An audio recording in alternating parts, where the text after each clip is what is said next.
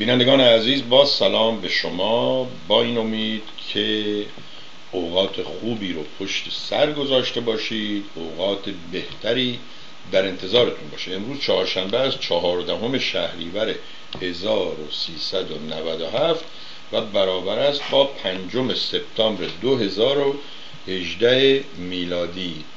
بذارید روی فیسبوک این ویدیوی زنده رو با دوستانی هم که برنامه رو از طریق مردم تیوی می‌بینن روی فیسبوک اونجا شیر کنین تقسیم کنین. این تقسیم کردن خیلی خوبه. تقسیم عراضی یادتونه. سربی با مردم. یکی از دوستان خواست کمک کنه. گفتم که خب شما با کردیت کارت و پیپال آسونتره. هم سریعتر انجام میشه هم لازم نیست بانک و پستخونه و اینها برید. هم اینکه از به اصطلاح همون توی منزل می‌تونید انجام بدید. گفت آقا بنده با خانمم دعوام شده سر پول و ماجرا و اینا حتی ماشینم هم ازم گرفتن. اینو میگم برای آقای فرخ که خیلی احساس بدی نداشته باشه. واقعا پدر پول بسوزه که دو نفر که عاشق هم هستن. حالا تو ایران بعض وقتا عاشق نبودن ازدواج می‌کردن. میگفتنشون ازدواج های چی؟ که به اصطلاح خانواده میپسندن و اینها. قراردادی نه. ولی کلا ولی بعد می‌دیدی که واقعا عاشق هم شدن خیلی هم قوی تر از اونایی که عاشق شده بودن. فکر می‌کردن خودشون عاشقن. تو باری رستورانی جایی آشنا شده بودن. بعدم از هم جدا شده بودن برای این دوستمون آمدم این رو فرستادم که به نظرم چیز جالبی هست درباره پول هست. و میگه که پول وفاداری را به بی وفایی عشق را به نفرت نفرت را به عشق فضیلت را به شرارت شرارت را به فضیلت خدمتکار را به ارباب ارباب را به خدمتکار حماقت را به هوش و هوش را به حماقت تبدیل می کند حالا درباره این فکر کنید شما و به من بگید که چقدر با این صحبت یا با این گفت نوشته موافق هستید. ولی توی آمریکا وقتی از هم جدا میشن میگن پنجاه پنجاه. یادم یک کیس خیلی بزرگی که اینجا بود. اون آقایی بود که یه چراغ مخصوصی ساخته بود که نورش شما می‌تونستی تنظیم کنی. همه پلیسا خریدن و اینها. خیلی پولدار شد. اگه اشتباه نکنم اهل این کشورهای شرقی اروپا بود. و این آقا با خانمی که باهاش زندگی می‌کرد هیچ وقت ازدواج نکرده بود. بعد کارشون به جدایی کشید. گفت خب چندون تو ورده برو. خانمه گفت نخه به این سادگی نمیشه. من روزی که این چندون آوردم تو این خونه تو یک آدم یلا قبا بودی به قول ما شیرازی ها کمپتی بودی. حالا پولدار شدی و من از این سهم می‌خوام. گفت تو که زن من نیستی. گفت سب کن نشونت میدم.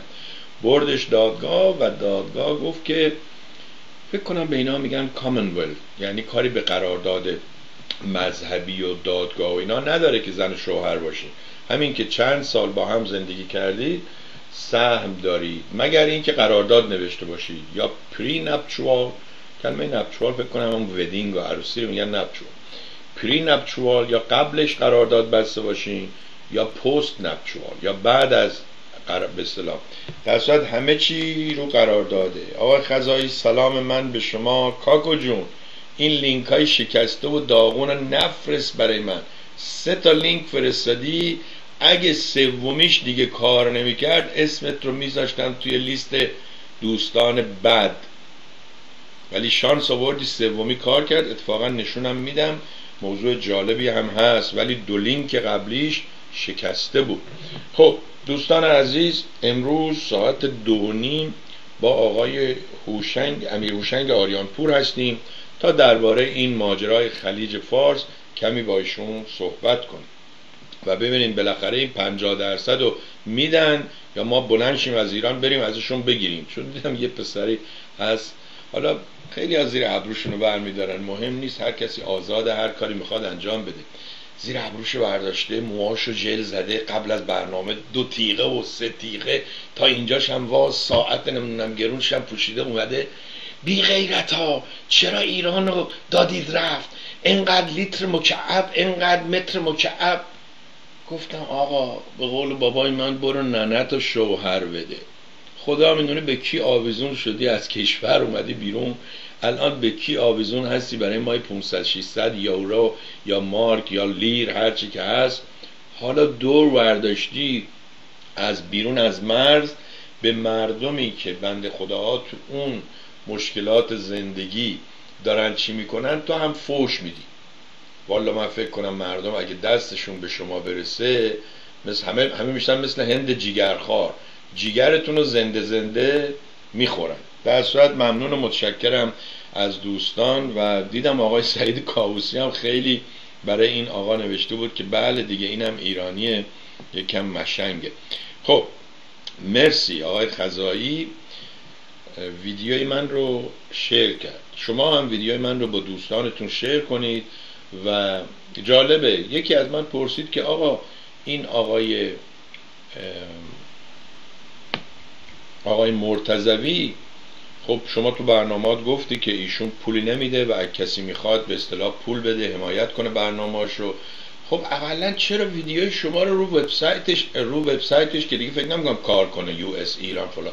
چرا روی فیسبوکش به اصطلاح پروموت نمی‌کنه. گفتم والا چی بگم؟ این دوستان ما اولا نگاه کنید این بنده خدا مگه چند نفر فالوور داره؟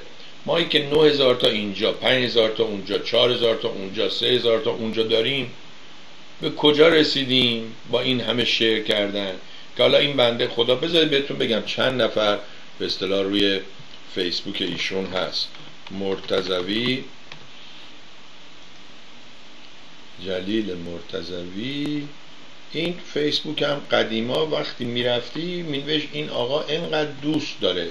حالا ده قسمتش کرده تقسیم نمی‌دونم یکیش فالووره یکیش فلان اینها دیگه آدم نمی‌دونه کجا به کجاست. ولی این صفحه آقای مرتزوی و ببینید من چقدر چی میگم؟ خودمونی تبلیغ این دوستان رو می‌کنم وبسایتشون نشون میدم فیسبوکشون نشون میدم اسم تلویزیون های دیگری که میگن اصلا بهشون نمیگم نگین. برای که ترسی ندارم و به خودم متکی هستم و می‌بینید بعض تلویزیون نمی‌ذارن. اینجا نوشته followed by 13 people. البته خود من مثلا می‌بینم من 9000 تا دوست دارم ولی نوشته followed by هزار خورده ای. حالا اون وقتا کجا مینوشت مال این صفحه دوست و دشمن ها رو؟ نمی‌دونم. قبلا می‌دیدی وقتی می‌رفتی یه صفحه ای که چند نفر این آقا دوست داره. اینجاها مینوشت حالا اینجا نوشته friend. 53 تا mutual یعنی من و اون دوستان مشترکی داریم. خب احتمالا از 53 تا بیشتره که 53 تاش مشترکه. 13 نفر ایشون رو follow می‌کنن.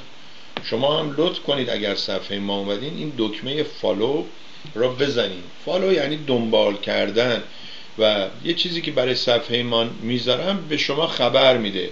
خود من همچین چیزی رو نمی‌بینم که خبر بده یا خبر نده.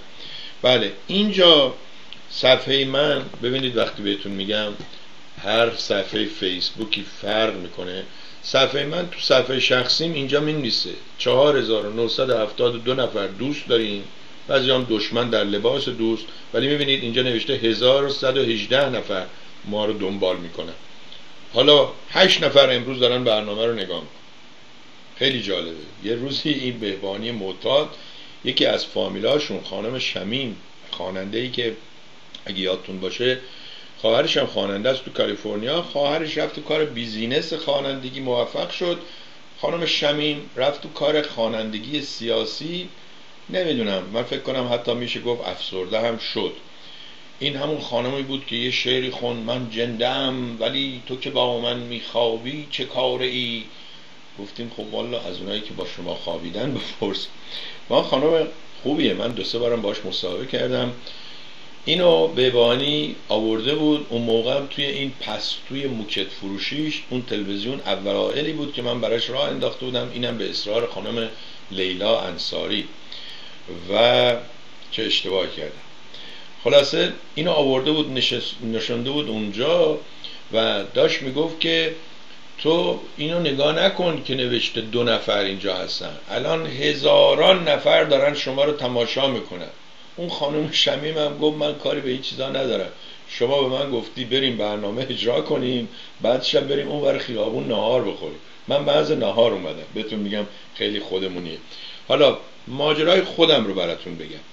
یه روز گفت بله میگه که سربی بیدار علی باش که خوابت نبرد. آقای خزایی شما رو شیر نکرده. ویدیو خودت رو برای خودت فرستاده. خب این آقای خزایی هم نشون میده وقتا گفتن به طرف کلک رشتی می‌زنه اینم زرنگی شیراز بازی در برده آقای خزایی اگه می‌خوای منو شیر کنی مثل که باید بری رو صفحه خودت. حالا بنده خدا آقای خزایی هم فکر کنم از منم سنش بالاتر باشه یا از من شکسته تره. در هر باید. ممنونم. همین همین لطفی هم کرده ممنونم. برگردم به اینکه یک بیننده یا دو بیننده یا سه بیننده. امروز داشتم با آقای اجلالی صحبت می‌کردم. در برنامه قبلی هم براتون گفتم که ایشون شروع کرده برنامه رو روی یوتیوب و فیسبوک و خب هم, هم خوشحال میشن. میگن دیگه چه احتیاجی داریم به فلان تلویزیون؟ ما خودمون برنامه می‌ذاریم. میرن می‌ذارن میشینن می‌بینن هیچکی نمیاد. یه نفر کی نگاه کرده؟ خودشون یا پسرش نگاه کرده. خلاصه بهش گفتم که اگه خاصی من تو تلویزیون مردم پروموت می‌کنم رو فیسبوک می‌ذارم رو یوتیوب پخش می‌کنم اینا. و گفت که دو تا برنامه می‌خوام. یکی سه شنبه دو ساعت یکی پنج شنبه دو ساعت. گفتم گوش کن عزیز من من فکر نمی کنم شما همچین بودجه ای داشته باشید. شما به من بگو ماهی چند. هفته ای بهتره. هفته ای چند می‌خوای خرج کنی؟ تا من بهت بگم با تخفیفی که بهت میدم با حرمت دوستیمون چه سرویس هایی رو به شما میدن جمع سرویس چی میشه؟ سراویس که نمیشه. سرویس ها میشه. ما چند مدت بود به خاطر که این سیستم ویندوز رو عوض کردیم و رفتیم OBS و رفتیم نمی‌دونم فیسبوک و رفتیم اون یکی دیگه XSplit و اینها.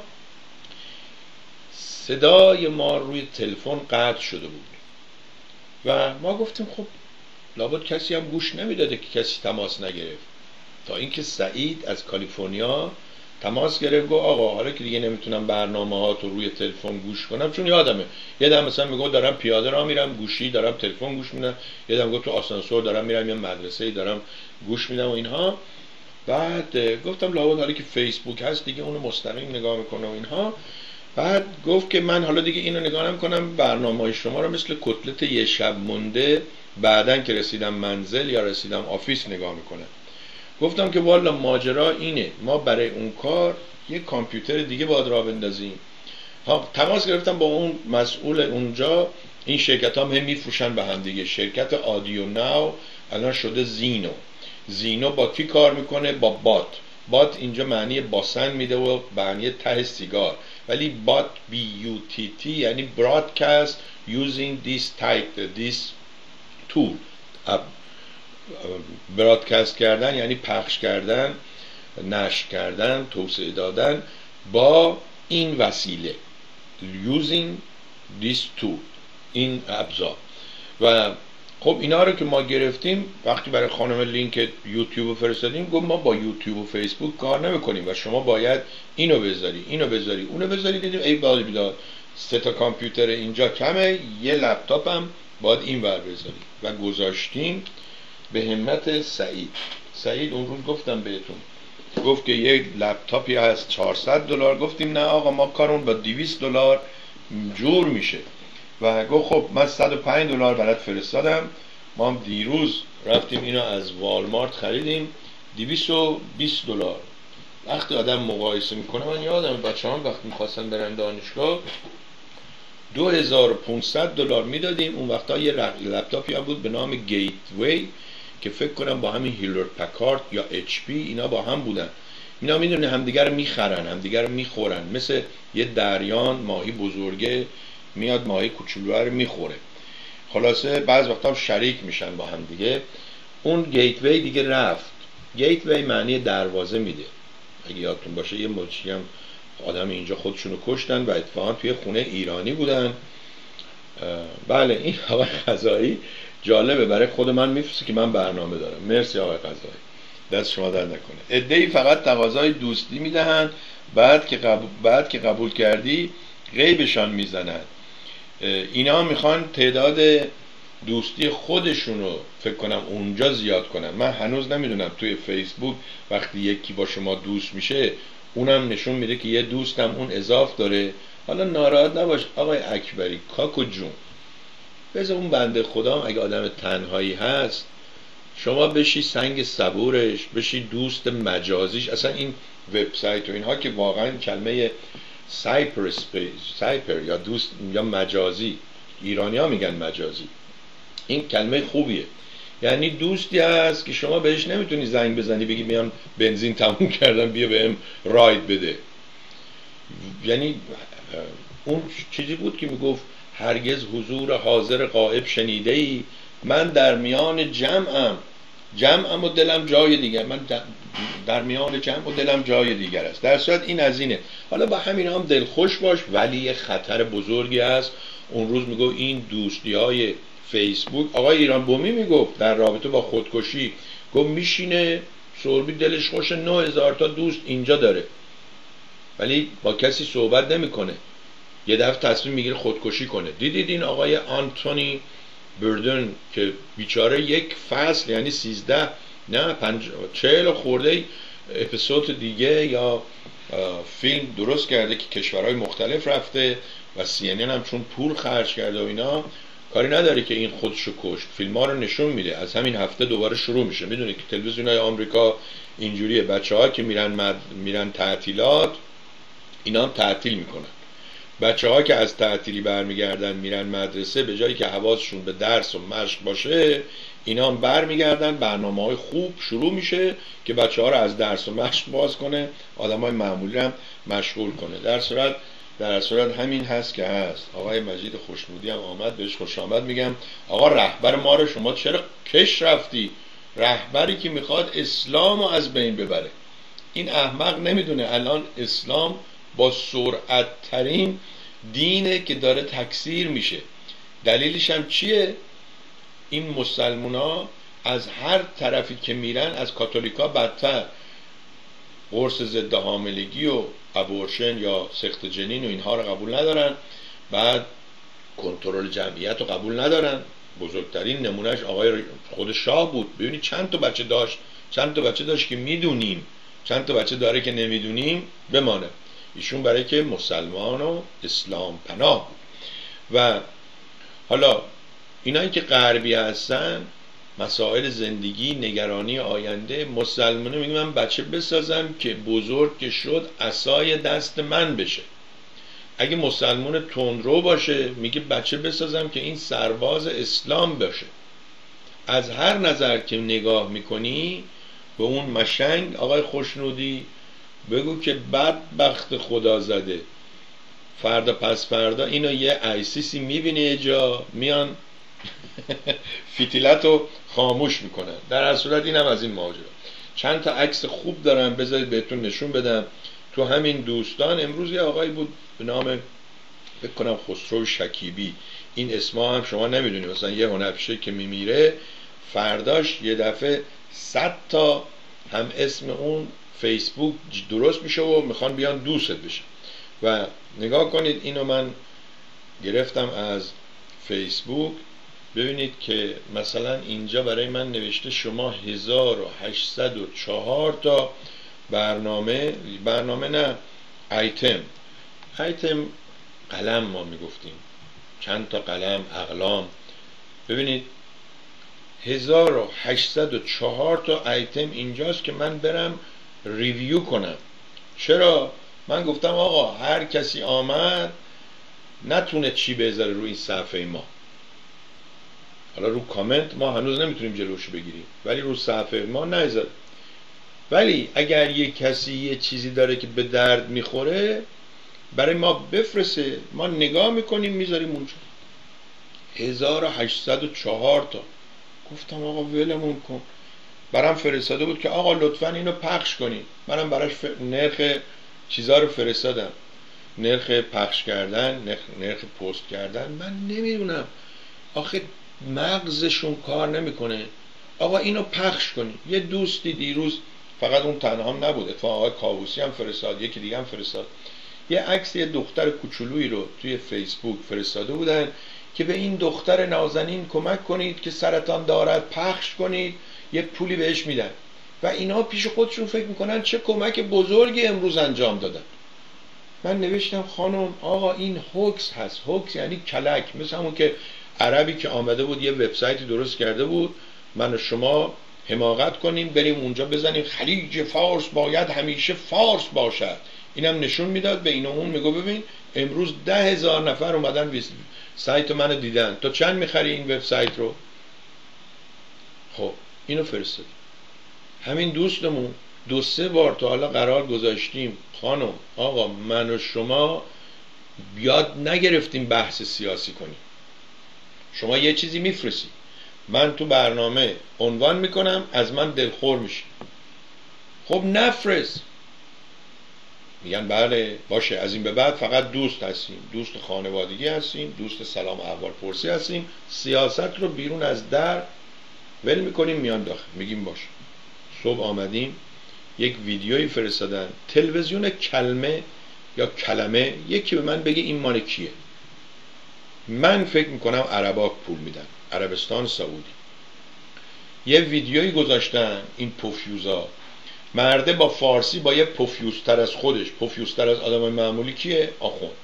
به یه آخوندی میگه حالا که عربستان سعودی این ماه رمز ماه حجاج و عید قربان این همه بره و شطور و گاو و فلان اینا رو قربانی می‌کنن و قبلا خاک می‌کردن. حالا قرار شده بندی کنن بفرستن کشورهای فقیر. این به فارسی به اون جاکش میگه که تو به عربستان بگو اینا به ایران هم کمک کنن. هی گفتم به این خانم جواب بدم. گفتم نه دیدم نمیشه. می‌خواستم بنویسم خانم من تا امروز هیچ فامیلیم از گرسنگی نمرده.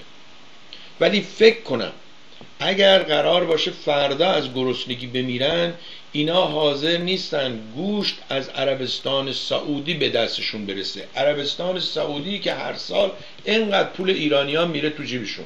ولی آیا شما حاضر هستید که گوشت از عربستان سعودی به وسیله این آخوند جاکش و به وسیله این که از عرب پول می‌گیره فقط فارسی حرف می‌زنه بیاد برای شما؟ بعد نوشتم من نمی‌فهمم. همه شما ها سیاست مدار شدید.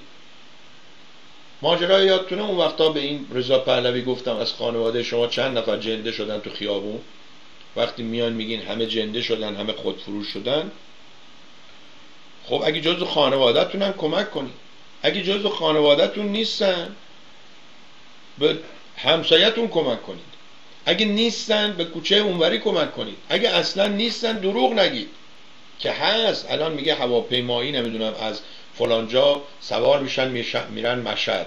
این ور کارتون کشیده هواپیمای تایلند. مسافر کسی نداره ولی هواپیمای مشهد تا دلت بخواد پر هست. خیلی ممنون. بله سنی های وهابی سعودی. خب آقای اکبری چجوری شما می‌دونی؟ من می‌دونم ولی اون دوست من که ادعا می‌کنه سیاسیه نمی‌دونه. چرا نمی‌دونه؟ برای که طرفدار حمزه پور احمق دیوانه است. وقتی حمزه پور گفت بیان اینجا که آویزون شده بود به بیزه های نداشته سعودی عربیا همین دوستمون گفت من دنبال یه دوستی میگردم اگه اونا بیان منم میام. اینجا میگم خب برای چی می‌خواین بیان؟ خب حالا میان شاید ترامپ از پنجره در واز که اصلا خجالت آور نیست. بعد اینا بدون اینکه مغزشون رو به فکر به کار بندازن ویدیو رو فرستاده میگم آخه این ویدیو این مرده که داره با فارسی حرف می‌زنه بعد زیرنویس گذاشتن. حالا عربستان سعودی هم نشسته برنامه اینا رو نگاه می‌کنه که چهل درصد ایرانی ها زیر خط فقر هستن و بیاد به اونا گوشت بده. شاه بدبخت خدازده گوشت یخزده از نیوزلند بود از استرالیا بود از کجا آورده بود؟ دیدید چوب تو آسینش کردن. حالا شما نشستی که این گوشتا رو امروز بکشن و یخ بزنن بعد بفرستن بیاد ایران بریم تو صف وایسیم بگیرید. آخه خجالت آوره.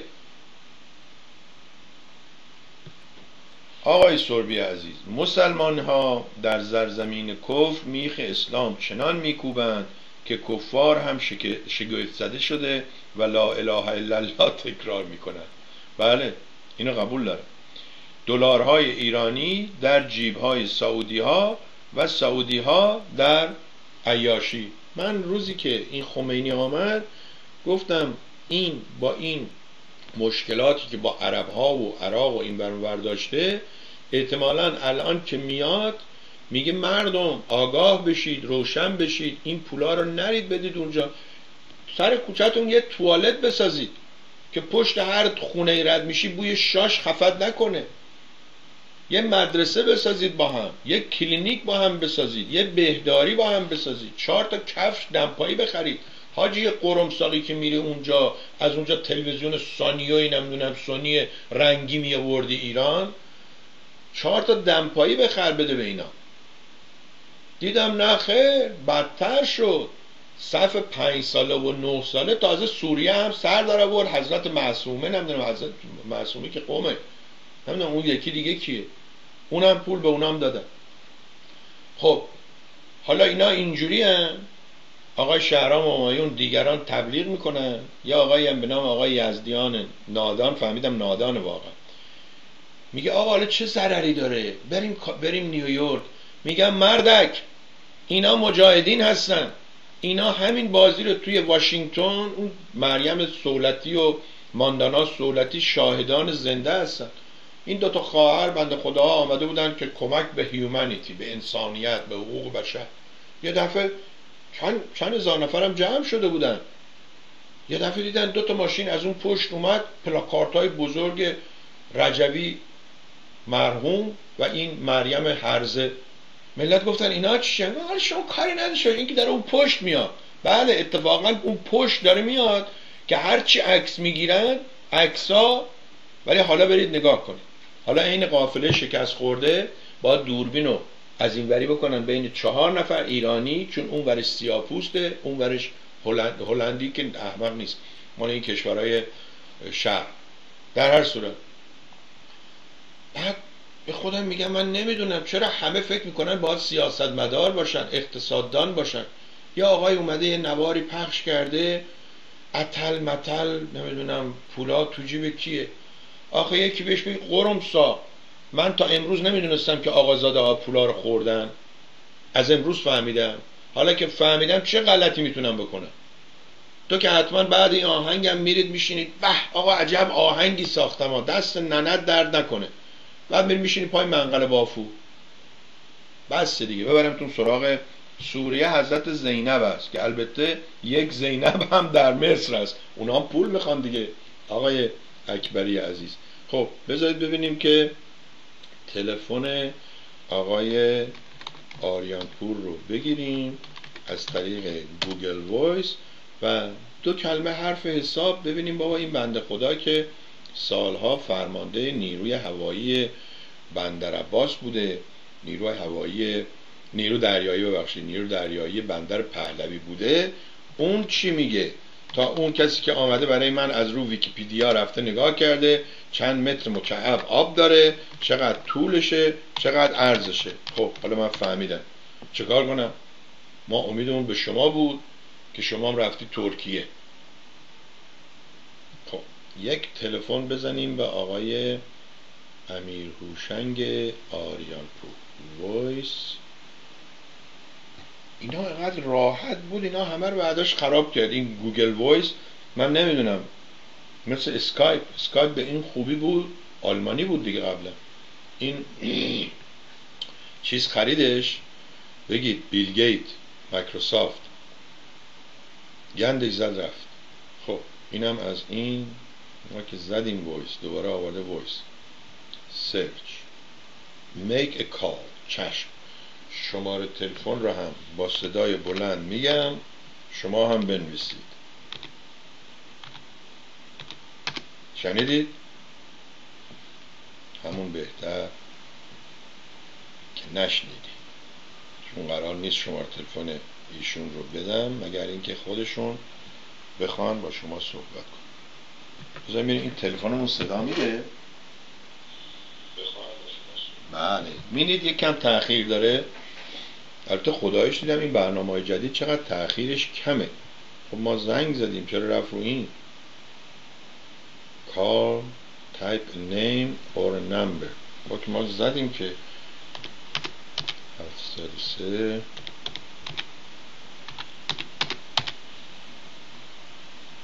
خب این از این. Call with hangout connect. دوباره میگه call.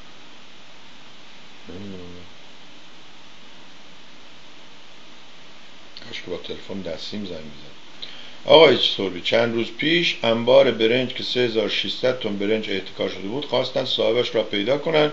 معلوم شد که صاحب برنج رفته حج داره دور کعبه میچرخه. خب همین دیگه. خیلی ها من شماره تلفن شما رو می‌گیرم. جالبه اینجا شماره ایشون زدم شماره هوشنگ ترسو اومده.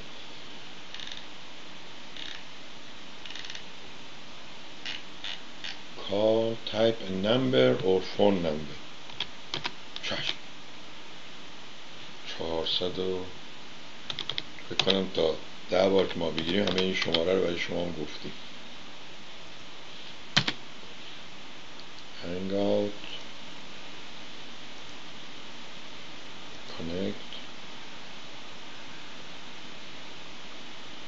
میگم کانکت میپره اینور اسم پتیک نشون میده اسم مسعود نشون میده اسم جلیل نشون میده. نعوذن بالله روزگار غریبی است نازن بذارید با این تلفن تماس می‌گیریم دیگه. حالا ممکنه صداش به اون بلندی نباشه. تلفن. کیبورد 703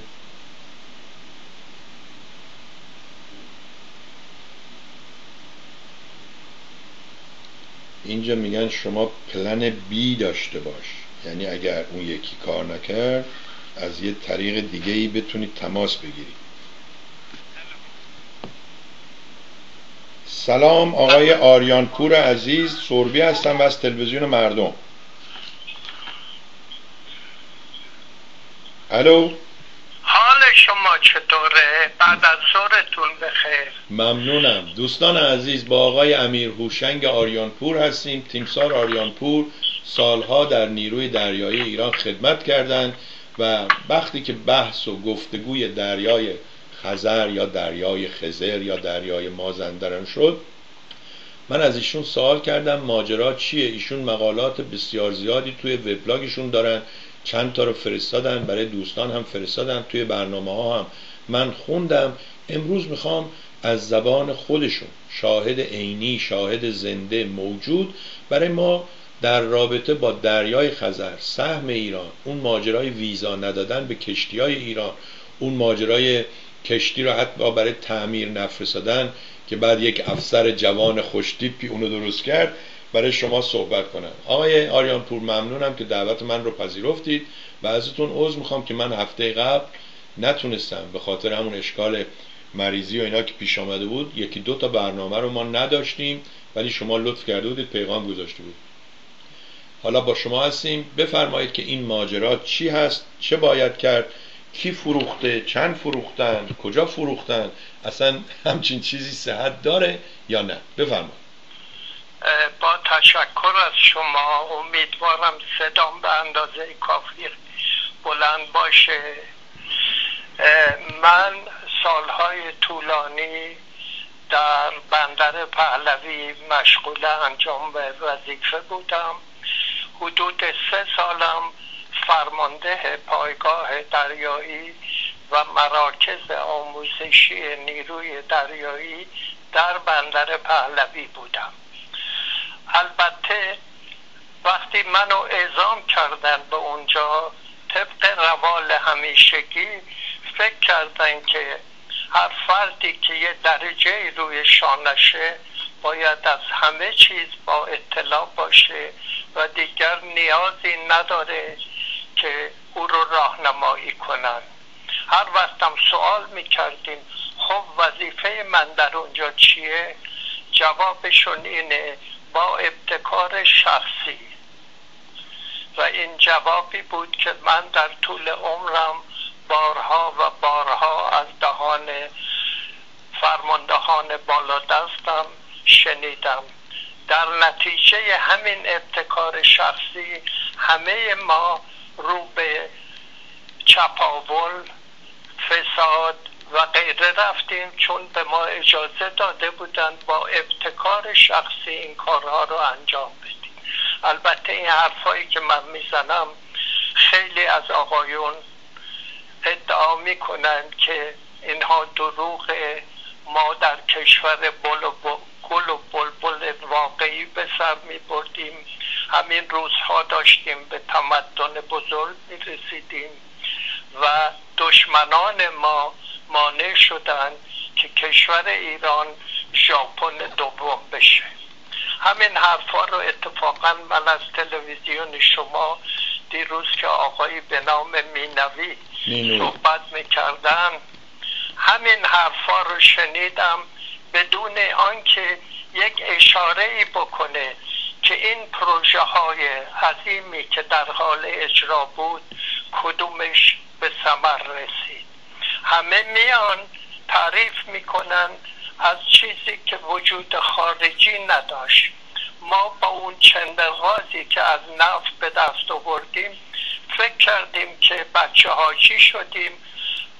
پدرمون فوت کرده و الان به ثروت بی نهایتی دست یافته و مشغولیم. ولی قافل از اینکه پول داشتن به جای خود مهمه ولی مهمترینش اینه که ما برنامه داشته باشیم. بدونیم برای کشورمون چه کارهایی مهمه چه کارهایی مزره در این مورد منی که بالغ بر 26 سال در نیروی دریایی بودم بعد از اونم که از نیرو خارج شدم تا زمان انقلاب چهار سال کشتی سازی رو به وجود آورده بودم در جنوب ایران. هیچ وقت نمی‌دونستم که ایران به چه راهی قدم برمیداره. ببخشید این حرفا رو زدم چون دلم می‌خواست یه چیزایی رو باتون درد دل کنم. در مورد بندر پهلوی من وقتی رفتم اونجا تنها فرمانده بودم که با کشور شوروی که در شمال ایران بود اون موقع نه آذربایجان نه ترکمنستان از شوروی جدا نشده بود و ما با اونها در تماس بودیم. مخصوصا اینکه اونها دفتری در بندر پهلوی داشتند برای اینکه در آن زمان نفت سفیدی که مورد مصرف چراغهای مردم بود از روسیه می اومد و اونها یه شرکت نفتی در اونجا داشتن که البته پایه و اساسش بر مبنای جاسوسی بنا شده بود. ولی هیچ کس منو راهنمایی نکرد و به من اطلاعاتی ندادن که در این مدتی که اینجا هستی تو چه ارتباطی می‌تونی با روسیه داشته باشی؟ از همون زمان ما واحدهای شناور کوچکی که در همون محل ساخته بودیم برای آموزش استفاده می کردیم و دانش آموزان و دانشجویان و افسرانی که تحت تعلیم بودند برای دریانوردی به دریای مازندران میفرستادیم. به ما همیشه اکیدن دستور داده شده بود.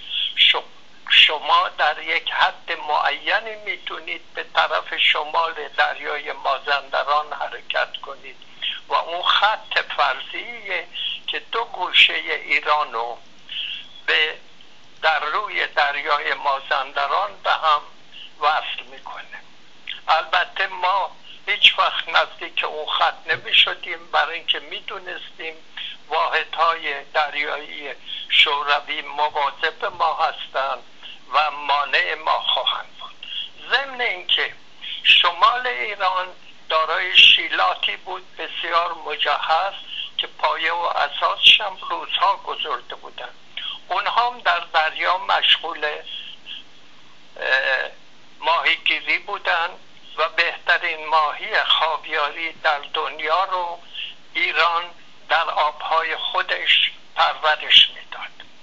ولی واحدهای شناول شیلات هم هیچ وقت نمی‌تونست به اون خط نزدیک بشه و مجبور بود کلیه ماهی هایی رو که سید می‌کنه در منطقه پایین باشه.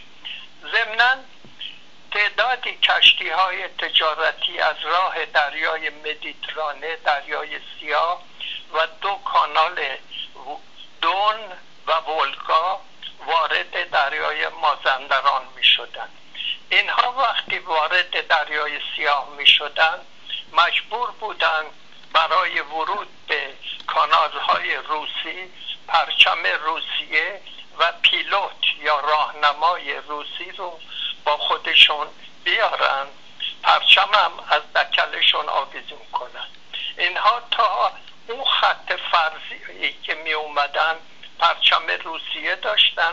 بعد از اون خط این پرچم عوض می شد پرچم ایرانی گذارده می شد و پیلوت روسی پیاده می شد پیلوت ایرانی جای اونو می گرفت و کشتی رو می آورد به داخل بندرگاه در بندر پهلوی. این نشون میده که ما از همون زمان هیچ وقت پنجاه درصد دریای مازندران و اجازه داشتن دریانوردی در همه سطح دریای خزر در اختیار نداشتیم. البته این آرزوی همه ما بود و آرزوی همه ما هست که پنجاه درصد این دریای عظیم و منابع بینهایت اون که در زیر دریاست متعلق به ایران باشه. ولی به دلایل فراوان ما هیچ وقت نتونستیم از اون استفاده کنیم.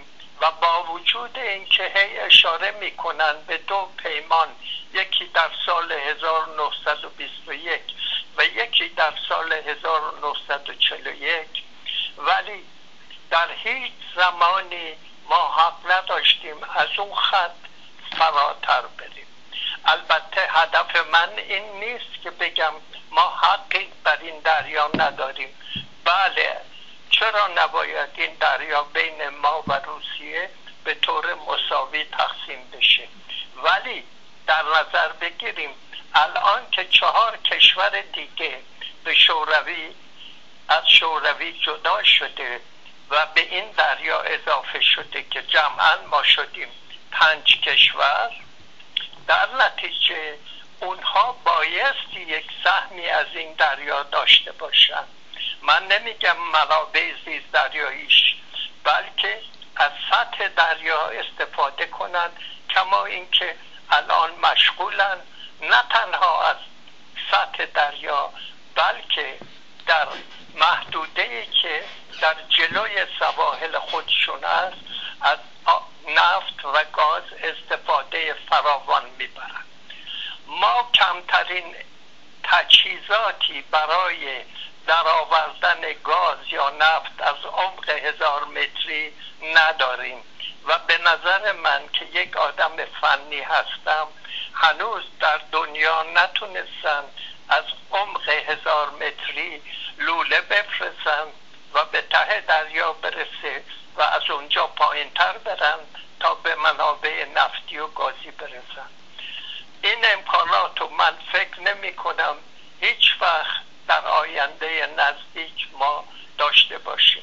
اگر هم بخوایم اینو در بیاریم بایستی از کشورهای دیگه استفاده کنیم و این قراردادی که الان بسته شده من کرده ولی گفت و گفتن نباید از کشورهای خارجی استفاده بشیم.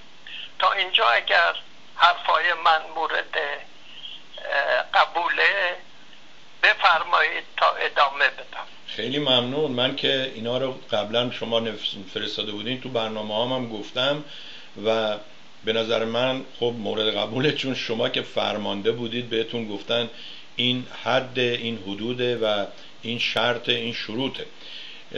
سوال اینه که چجوری الان چند ساله که این کشورها به اصطلاح چهار تا سه تا پنج تا کشور دیگه ای که اضاف شدن دور این دریا به وجود آمدن. چرا قرارداد حالا یا مثلا ماه گذشته صحبتش بوده؟ هنوز هم مثل که رسما امضا نشده چیزی نوشته نشده نه؟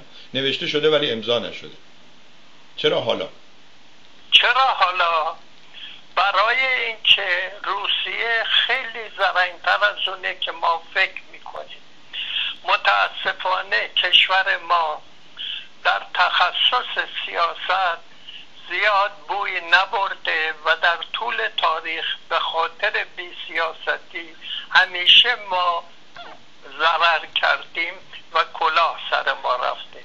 روسیه در وضع فعلی که می‌بینه همه دنیا با ایران اختلاف دارن و به طریقی دارن ایران رو تحت فشار قرار میدن که در رأسش امریکا قرار داره از فرصت استفاده می‌کنه و این موضوع رو پیش میاره که می‌دونه ایران در موقعیتی نیست که بتونه اعتراضی بکنه.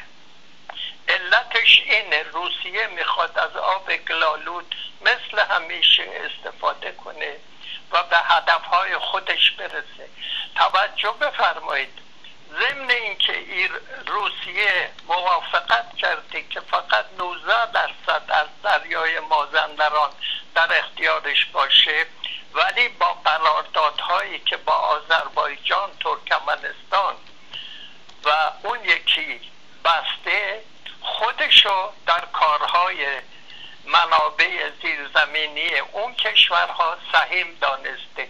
ظاهرا 19 درصد داره ولی وقتی با اون سه کشور شریک شده پس تمام یعنی 80 درصد یا بلکه 85 درصد رو در اختیار داره. پس روسیه چیزی ضرر نکرده و چون می‌دونه از لحاظ تجهیزات امکانات داره که بتونه منابع زیرزمینی رو به خوبی استخراج کنه پس از این راه سود می‌بره و ایران چون امکاناتی نداره با چاهایی که اونا در مناطق خودشون بزنن. ولی این چاه رو به عوض اینکه عمودی وارد کنن می‌تونن در زاویه وارد سطح زیر دریایی ایران بکنن و از منابع ایران استفاده کنند و ایران هیچ امکاناتی برای جلوگیری از این در اختیار نداره. بسیار ممنونم. یعنی به غیر از اینکه سهم ایران انقدر هست تازه اونا ممکنه کلک بزنن به جای چاهای عمودی چاهای افقی بزنن و نفت رو اینجوری بکشن به اون طرف. و الان هم که هیچ امیدی نیست چون اون وقتا اقلا ایران با آمریکا دوست بوده ولی الان از این و با آمریکا دشمن و هی برای هم شاخشونه می‌کشن. از اون برم ترامپ به اصطلاح پوتین که همه دنیا فکر می‌کنن دوست با ایران اینجوری نشون داده که الان بهترین موقع است که ضربه کاری رو به ایران بزنه. خب در این اوضاع و احوالی که الان شما می‌بینید حتی دو تا نماینده مجلس ایران هم خواستن که مردم همه پرسی کنن و اینها. شما فکر کنید آخوندا چه کار می‌کنن؟ آخوندا هم همون اشتباه شاه رو انجام میدن و به اصطلاح وای میسن. حالا یا بدتر از اون مثل صدام و مثل لیبی و مثل همین بشار اسد یا مثل شاه فرار می‌کنن. یا اینکه اینها زرنگترن و میان میگن خب ما که خوردیم و بردیم و دزدیدیم بسه و بیایم به اصطلاح به مردم یه مقدار آزادی بدیم تا کشورهای مثل آمریکا و اینها هم دستشون باز بشه اونجا معاملاتی منافعی داشته باشن و وضع ایران بهتر بشه. حقیقتا سوال اینه. آیا در این تونل شما نور امیدی می‌بینید؟ متاسفانه خیر آقای پارسا سربی برای اینکه دادن یک مقدار کم آزادی به ملت دردی رو دوانه می‌کنه. اقتصاد ایران به قدری از هم پاشیده و بد و خرابه که اون باعث شده همه این علم ها به پا بشه. کشوری که دشمن امریکاست و مرگ بر امریکا میگه پرچم امریکا رو میسوزونه. چه دلیلی داره که تمام بازارش فعالیت های اقتصادیش بر مبنای دلار انجام بشه؟ اصلا ما به دلار چه کار داریم؟ ما یک کشور مستقلیم بایستی پول ما ارزش خودش رو داشته باشه. درسته با این پول ما از خارج جنس می‌خریم. ولی ضمن اینکه از جنس می‌خریم مقادیر متنابعی از اونو این رژیم و یاران همراهشون برادرانشون خواهرانشون ملایانشون در طول چهل سال چباول کرده و به خارج فرستاده هم ضمن اینکه با این پول دلاره که می‌تونن نیروهاشون رو در سوریه یا در یمن یا در عراق یا در افغانستان نگه دارن. با این پول دلاره که سپاه پاسداران می‌تونه فعالیت های بسیار بد و زننده خودشو انجام بده کالا به وارد کشور کنه و خارج از مقررات گمرکی اینو برای منافع خودشون به ملت عرضه کنن و پولشو به جیب بریزن. اگر ما دلار نداشته باشیم دیگه سپاه باستاران نمی‌تونه قدرت نمایی کنه. اگر دلار نداشته باشیم دیگه نمی‌تونه در نوار غزه یا لبنان یا فلسطین یا در عراق یا در یمن یا در افغانستان هزینه کنه. مجبور نیروهاشو از یمن و سوریه و عراق و افغانستان خارج کنه به ایران برگردونه. وقتی ما این نیرو رو از سپاه پاسداران بگیریم یعنی دیگه حق معامله به خاطر نداشتن دلار نداشته باشه دیگه یارو کوپالش ریخته میشه. و دیگه نمی‌تونه انقدر ار تیز کنه و به ملت ایران زور بگه. اون موقع است که ملت ایران می‌تونه از ضعف اونها استفاده کنه و به پا خیزه و فعالیت رسمی بکنه. البته این یه خواسته که بسیار باید خوشبینانه بهش نگاه کرد ولی اینطور نیست. فرض کنیم ما تونستیم این رژیم رو کنار بندازیم. چی می‌خوایم جاش بیاریم؟ چه برنامه ای داریم و چه مردمی یا نیروهای متخصصی در اختیار داریم که بذاریم ده ها هزار از اونها رو در سطح کشورمون و به کار بپردازن. وقتی ما خودمون نمی‌دونیم چی می‌خوایم و برنامه نداریم چگونه انتظار داریم ملت هشتاد میلیونی که چهل سال مقصوعی کامل شده بدون به آینده ایران چه خواهد بود؟ من ممنونم از شما و شما یه مقداری کم لطفی می‌کنید. رهبرانی مثل آقای حمزه پور در همین همسایگی من و شما. دیدید که میلیون ها نفر رو ماه می اینجا جمع کردن. و آبروی خودشو اون ساده لوحانی هم که فکر می‌کردن با فرستادن فوتوکوپی پاسپورتشون این براشون ویزا می‌گیره واقعا برد. در صورت ممنونم از شما. امیدوارم در برنامه های آینده بتونیم از شما استفاده کنیم و من همیشه گفتم از افرادی مثل شما که تا وقتی که هستن نوشته ها خاطراتشون. من شاهد زنده ای هستم بر اون اسنادی که شما به من نشون دادید و با خودتون آوردید چه زحمت ها کشیدید و اینا رو چجوری نگه داشتید و اینا رو چجوری دارید دیجیتال دیجیتالایز می‌کنید و زحمت می‌کشید. من به نوبه خودم از شما ممنونم. ای کاش دیگران هم یه مقداری از جرأت، شهامت و شجاعت و از خودگذشتگی شما رو داشتن. مرسی. اون لطف شماست از شما و بینندگان عزیزتون تشکر می‌کنم. در اختیارتون هستم. ممنون. روزتون بخیر. روزتون بخیر. خیلی ممنون که با ما بودید. مرسی. دوستان عزیز با آقای امیر هوشنگ آریان پور بودیم و ایشون هم روی فیسبوک هم روی وبسایت روی به اصطلاح اینترنت وبلاگ دارن و خیلی فعال هستن. مقالاتی می نویسن که اگر شروع کنید و بخونید فکر کنم هی بیشتر علاقمند میشید و بیشتر ادامه می‌دید. همین امروز باز توی خبرها آمده بود که واکنش تند در مجلس به سخنان نمایندگانی که خواستار برگزاری همه پرسی شدن. یک خانمی و یک آقایی تو توی توی چیزا گذاشتم بهتون نشون میدم که متاسفانه به نظر من اشتباه اون خانمه اینه که میره شعر شاهنامه رو میاره می‌خونه. ببینید اینا متوجه نیستن که تو با شاهنامه حریف آخوند نمیشی. باید با سوره و آیه و صحبت های حضرت علی باهاشون در بیفتی. و الا تا گفتی شاهنامه اونا یک چیزی بهت میبندن که خب این که داستان ها دروغه و بعدم تو میگی نمی‌دونم اعراب به ما حمله کردن و فلان بیسار اونا رو باید ول کنه این خانم.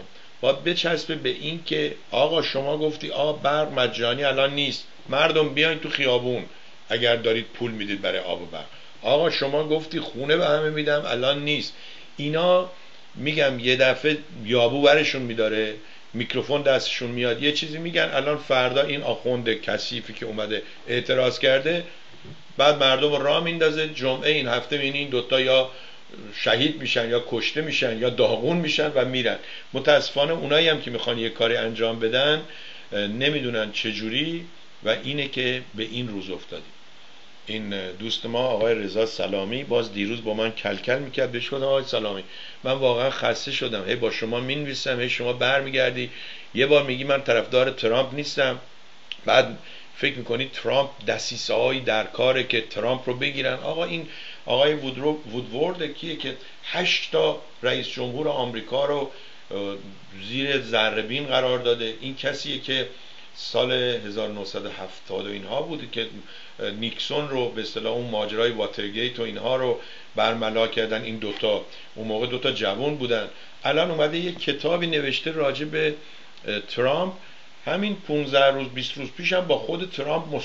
تلفنی صحبت کرده. چون ترامپ بهش زنگ زده و گفته حتما کتاب تام که داره میاد مثل کتابای دیگه درباره من منفیه. چون می‌دونید اینا که خودخواه هستن خودشیفته هستن اینها همیشه فکر می‌کنن بهشون ظلم شده.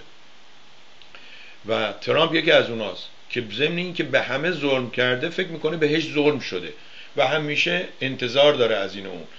به دادستان کل کشور که اولین احمقی بود که از این طرفداری کرد همین جف سشن به این میگه که این احمق با اون لحجه جنوبیش. چون اینجام تو آمریکا همین لحجه های همدیگر رو مسخره می‌کنن. این که مال نمی‌دونم واشنگتن لحجه وست ویرجینیا رو مسخره می‌کنه اون مال میسیسیپی رو مسخره می‌کنه بمانه. ژنرالی که توی خاور میانه آدم ها کشته و نسل کشی را انداخته آقای مدس که بهش میگن مداگ گفته که این ترامپ به اندازه یه نفر یه بچه کلاس پنجمی شعور و فهم و درک مطلب داره. یکی نیست به این بیناموس بگه خب تو که اینو می‌دونی چرا براش داری کار می‌کنی که اون بگه ببینید ژنرال نمی‌دونم فلان مدس داره برای من کار می‌کنه. اون یه ژنرال دیگه که بچهش هم کشته شده جان کلیه کی اسمش؟ اینقدر همه اسمام نزدیکی که همشون هم کسافتن دیگه آدم یادش میره. که آمد شد به جای اون فلم به جای مشاور قبلیش و گفتن این که بیاد چنان این دستگاه رو پاک می‌کنه که بیا و ببین. اونم که به ترامپ گفته ادیت یعنی احمق. خب من نمی‌دونم اینا که اینجورن فقط برای همین پول سال 500 هزار دلار سال 200 هزار دلار سال 300 هزار دلار. واقعا آخر عمرشون هم هست همشون. همه سنا بالای هفتاد خورده هشتاد و اینها هست. ولی اینجاست که اون شهامت غیرت همت همیت ملی نیست. همین آقای آریانپور یه دفعه برای ما توضیح داده که توی ارتش توی مدرسه به ما درس میهن پرستی و وطن پرستی ندادن. گفت بیان بیان یکتون به من بگین کجا درس دادن. درس شاه پرستی دادن. کدوم شاه؟ شاه ترسو. کدوم شاه؟ شاه فراری. کدوم شاه؟ شاهی که داریوش همایون گفت همیشه چمدونش آماده بود که بره. ببرمتون خلیج فارس و دوستمون از اونجا لطف می‌کنن آدیو ارسال می‌کنن. ما هم اینجا پخش می‌کنیم. شما هم بشنوید. شما هم می‌تونید همین کار رو انجام بدید و در تلویزیون مردم همه می‌تونن برنامه داشته باشن. با هم صحبت های این دوستمون رو میشنویم و پی می‌گیریم. خوشحال میشن ایشون. اگر شما هم انتقادی دارید به اصطلاح تماس بگیرید و از ایشون بپرسید ایراد بگیرید سوال کنید هر جوری که خودتون دوست دارید. این هم مسیج یا پیام ایشون که با سلام و درود به شنوندگان و بینندگان ارجمند.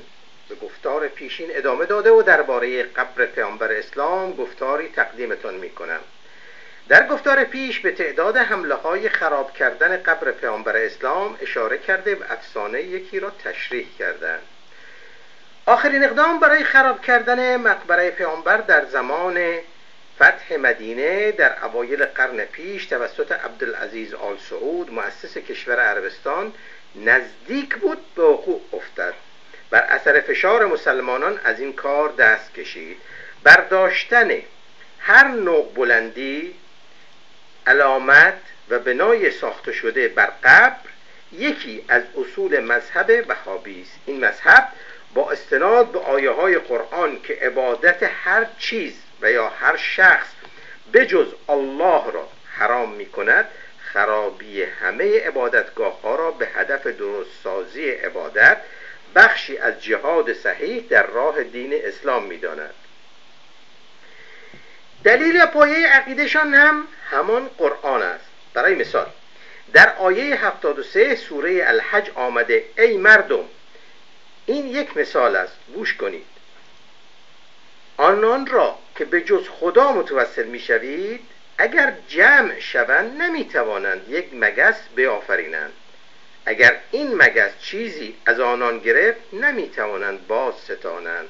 هر دو درخواست کننده و مستجاب کننده سست و ناتوان هستند. با استناد به این آیه و آیه های متعددی دیگر پیروان محمد عبدالوهاب که نامش بر مذهب نهاده شده با خراب کردن معابد عقیده داشتند که دین اسلام را به اصل خداپرستی و راه راست می‌برند. زیارت و دعا بر گورها و جاهای مقدس دیگر را کفر شناختند و آن را منع نمودند. برای اینکه رأی و طرز فکر مخالف را بشناسید خوب است بدانید که علمای اسلام بسیاری از همین قرآن برعکس این رفتار با قبرها را فتوا می‌دهند. در اینجا پژوهش کننده به یاد گفته امام علی می افتد که فرمودند قرآن تفسیرهای مختلف را در بر دارد. این گوناگون نظر دادن با استناد به یک سند مسئله عمومی و معمولی است و در همه زمینه ها وجود دارد و همانطور که قبلا هم گفته شد علت اصلی تزریق شده های بیشعوری است که طرز فکر و رفتار انسانها را بسیار مختلف کرده نظرها را به شکلهای مختلف درآورده و هر شخص و یا طرفی خود را صحیح و دیگران را در اشتباه می‌داند. هنگامی که این مذهب در شبه جزیره عرب توسط محمد عبدالوهاب در قرن 18 میلادی مطرح شد مردم آنجا برای مستجاب شدن دعاهایشان سور مزارها و چیزها و جماعتهای بسیاری رو می آوردند سنگ کوه با شکلی غیر معمولی درختی کهن و هر قبری که یک ملای مرده در آن به خاک سپرده شده بود مقصد و عبادتگاه عموم بود و مریدانی سرسخت داشت. پیروان مذهب وهابی در نجد صحرای میان شبه جزیره عربستان افزون شده و در آغاز قرن 19 میلادی به سرزمین بین النهرین حمله کردند. در پشت دروازه های نجف ایستاده و نتوانستند وارد شوند. به سوی کربلا رفتند. این شهر دیوار و حصاری نداشت. به آسانی آن را اشغال کردند. برای ثوابکاری و برآورده شدن واجبهای مذهب و پاک کردن اسلام از فساد و نپرستیدن الله در نیم روز. یعنی از بامدادان تا ظهر طبق آنچه در کتاب ها آمده پنج هزار تن از مردم خردسال و بزرگسال از هر دو جنس را در کربلا سر بریدند. بنابر اصل آمده در قرآن و حق داشتن در به دست آوردن غنیمه به انبارهای زیارتگاه های امام حسین حضرت عباس حمله و همه مجوهرات و هدیه های پادشاهان ایران را به این عتبه های مقدس چون غنیمه های جنگی حق مسلمانان مجاهد دانسته و چپاول کردند. این هدیه ها را بعدها در مقابل پول به مهاراجاهای کافر هندی فروختند و آنها یعنی هندی ها بخشی از مجوهرات چپاول شده شان توسط نادرشاه را به سرزمین خود بازگرداندند. هنگامی که از این همه جنایت در یک مدت زمان کوتاه با وهابیان سخن گفته شد آنان پاسخی دینی و آماده در شنته داشتند. گفتند اگر خدا نمی‌خواست در این جنگ پیروز نمی شدیم همه کارهای ما با پشتگرمی و توکل بر الله انجام می‌گیرد. بینندگان و شنوندگان گرامی شما اگر این ادعاها را باور ندارید بروید هر کاری می‌خواهید بکنید. هر چه می‌خواهید بگویید و بنویسید. بعد بازگشته و به ما اطلاع دهید. کدام نیروی پیروزمند در همه دوران قدیم و معاصر معاصر تاریخ انسان این دزدی ها را نکرده است. کدامشان با در دست داشتن نیرو و زور ظلم و کشتار نکردند پادشاهان و قهرمانان مورد افتخار ملی ما همه از این نمونه بوده و هستند و خواهند بود ظاهر سازی و تظاهر به خوبی آنان را باور مکنید. آب ندیدهاند وگرنه شناگران ماهری هستند. امیدوارم متوجه شده باشید که این انسان چگونه خود را سست و ناتوان معرفی می کند و رفتار خود را به خواست و یا نخواست خدا می داند.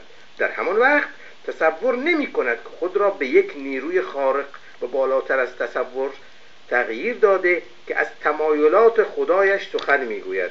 گویی که با او در تماس مستقیم و همیشگی است. عموما شکست های خود را به خواست خدا می‌داند. و موفقیت ها را به خود نسبت می دهد نمونه ای از کنترل بیشعوری بر عقل انسان. تاریخ ثابت می کند انسان هرگز تغییر عقیده دینی نمی دهد مگر اینکه با زور این دگرگونی در مغزش شکل گیرد یا منافعش در خطر باشد. پس از تغییر و پیروی از دین جدید به عقیده نو متعصب گشته و اصول و پایه های مخالف بودن پیشین خود را فراموش می کند دیده و خواهیم دید که مردم برای دیدن شاه دست و پا می شکستند وقتی سرنگون شد سوی رهبر رفتند. هرگز گذشتهشان را به یاد نیاورده کسی جلو نیامد که بگوید چرا از یک حالی به دیگری تغییر مزاج داده. هنگامی که مؤسس کشور عربستان عبدالعزیز آل سعود در آغاز قرن بیستم به وهابی ها پیوست و نیروی نظامی ساخت به حرکت افتاده و به هر سو حمله کرد. با شمشیر و تفنگ هایی که انگلستان در دستشان گذاشت و این خودش داستانی دارد یکا یک شهرهای شبه جزیره عرب را اشغال کردند در هر شهر و دهی همان کارهای یک قرن قبل پدر بزرگان خود در کربلا را تکرار نمودند. به هر جایی وارد شدند همه زیارتگاه ها و نیایشکده ها را خراب کردند. مردم در آنجا مانند امامزاده های خودمان بند و پارچه می آوشتند و با دعا و زاری از گور سپرده خواهان برآورده برآوردن آرزوهایشان می شدند یکی از این جاها همین آرامگاه بقیه است. در شهر مدینه بود. عکس روزنامه آن روز را لطفا نشان دهید. این خبر در آن منتشر شده. می‌خواستند قبر پیامبر را نیز خراب کنند. همانطور که گفتم فشار کشورهای اسلامی آنان را از این کار من نمود. در عکس بعد مرحوم ملک عبدالله فرزند عبدالعزیز پادشاه قبلی عربستان را می‌بینید که در برابر زری یا نرده قبر پیامبر و خلیفه ایستاده و نیایش می‌کند. در اینجا پادشاهی را می‌بینیم که همه دستگاه های سیستمش شیعیان را برای زیارت رفتن به آرامگاه های امامان نکوهش کرده و کافر می‌دانند. این هم یک دلیل دیگر در تضاد رفتاری هر انسان بدون اینکه این دوگونگی درونی خیش را درک کنند وقتی منافع مادی و نفوذی مد نظر باشد تغییر معیارها و سنجش امور گناه شمرده نمی شود برعکس واجب و ثواب می گردد این احساس و رول بازی کردن در یک بام و چند هوا را انسان نمی احساسد برعکس در راه برآورده شدن آزهایش آن را صحیح و درست و واجب می شمارد در عکس های اتاق ام المؤمنین آیشه که قبلا هم نشان داده شد و اکنون هم می‌بینید سه قبر بسیار نزدیک یکدیگرند. این به کوچکی اتاق بود. در عکس بعدی نقشه نوین وضع کنونی را می‌بینید. در قسمت وسط چپ پایین عکس جاهای گورها با خط سرخ و زرد رنگ اطراف گورها خطکشی دائری شده. همانطور که می‌بینید این گورها دور از هم نشان داده شده است. در عکس بعدی درون اتاق قبرها را می‌بینید که باز برخلاف عقیده مذهب وهابی بارگاهی مزین به طلا بر روی گورهای دور از هم گذاشته شدهاند قالی های دست باف و نفیس ایران ایرانیان ملحد را که به این ذریع هدیه شده بر دیوار آویختند در اثر سوختن کامل مسجد ساخت زمان ولایت عمر ابن عبدالعزیز و ساخت مجددش آیا جای قبرها پیدا بودند یعنی می‌شد قبر را پس از پاکسازی خرابی و برداشتن خاکستر آتش در جای اصلیش یا؟ این سوال از کسی شنیده نشده. تحقیقی درباره جای درست دقیق و صحیح جسدها صورت نگرفته. با این حال جای قبرها میباید صحیح و یا نزدیک به صحیح باشند. درباره جای گور صحیح امامان شیعه در برنامه ای شاید سخن گویم. به واقعیتی که خواهم گفت لطفا بیندیشید. زبار و حجاج فقط برای گذشتن از برابر زریح پیامبر و دو خلیفه نخست خود را پاک بیگناه و بهشتو میتصورند چرا شیعیان به این بسیار نزدیک بودن آرامگاه دو خلیفه یا با پیامبر ارجی نمی‌دهند نمینهند. چرا آنان را دشمن دین و اسلام و توتگر توتعگر می‌دانند؟ آیا میان این طرز فکر و مخالفین وهابی و افرادگری دو طرف تفاوتی می‌توان یا به هر صورت صحیح بودن جا و یا تغییر جای گور شخصیت های گور شخصیت های تأثیر گذار بر تمدن انسان مسئله مهمی نیست. می شود از آنها در هر جا و هر وقت یاد و قدرشناسی کرد. مثلا با اینکه آرامگاه رضاشاه را خراب کردند و قبل از مدتی جسد کش شده اش را در جای نامعلوم به خاک سپردند این وضع مانع از یاد بود از یک مرد تاریخ ایران نمی شود بزرگداشت به معنی فقط تمجید و تعریف نیست. دانستن و آشنایی به همه کارهای یک شخصیت تأثیرگذار میباید هدف انسان و فراگیری باشد. با دوری از تعصب و افرادگری میباید همه خوبی ها و بدی ها را دانست و از آن سخن گفت تا عبرتی برای انسان و آینده اش گردد. به تجربه هایش افزون شود. در صورتی که این انسان علاقه به فراگیری و دانستن و عدم تکرار اشتباه ها داشته باشد. در دو گفتار قبلی و این به سوال آقای سربی درباره جای قبر پیامبر اسلام پاسخ دادم. هدف این گفتارها اندیشیدن و حقیقت یابی است. امیدوارم اطلاعات گفته شده تصوری واضح در مغزها ساخته باشد. به امید گفتار پسین که از مدینه برای اجرای مراسم حج به مکه خواهیم رفت. با ما باشید. تا آن وقت شاد و تندرست بزیستید خب دوستان عزیز ممنونم که هستید و این برنامه ها هم, هم میشنوید و هم می‌بینید. جالبه. خانم لیلا میلانی عزیز واقعا شما فکر می‌کنید وقتی میاین تلویزیون نگاه می‌کنید اون برنامه برای مردم ایران گوشت و نون میشه؟ آخه این چیزی که شما می‌نویسی به کی توهین میشه؟ خلایق هر چه لایق. یعنی چی؟ یعنی شمایی که بیننده این برنامه هستید لیاقت همچین برنامه ای رو دارید. مردمی که در ایران هستن لیاقت همچین حکومتی دارن. من از شما انتظار بیشتری داشتم. شما اینجا نوشتید این محملات دینی برای مردم ایران نان و گوشت نمیشه. خب شما بیا یه برنامه ارائه کن که به غیر از نان و گوشت براشون بشه چلو و بوقلمون و من نمی‌دونم واقعا ما چه ملتی هستیم. خانم داره میگه میگه فرش ایرانی های بدبخت بردن گذاشتن اونجا. خود بنده سرباز بودم در کرمونشاه سه روز شهر رو قرق کردیم که کاروان طلاهای ایرانیان زمان شاه بره کربلا. ایشون داره اینو میگه. وقت شما نشستی دنبال گوشت و نون هستید برای مردم؟ کدوم برنامه تو حالا دیدید شما که گوشت و نون شده برای مردم؟ بریزید تو خیابونا. کوکتل مولوتوف درست کنید. برید بانکها رو بشکنید. آخه من نمی‌فهمم. شما نصف نصف حرف می‌زنید. من که بارها گفتم شما پیام بذارید. با توجه به ایران جهان کرنت افیر هر چی که دوست دارید. من پخش می‌کنم تو این برنامه. دعوت کردم بیاین تو برنامه ها نمیان. وقتی خودتون نمیاین اونایی که میان شما دو تا انتخاب دارید. یا گوش کنید ببینید یا گوش کنید یا گوش نکنید و نبینید. چرا خودتون رو اذیت می‌کنید؟ چرا اعصاب ما رو ناراحت می‌کنید؟ می‌کشید ما رو آخر. بس دیگه.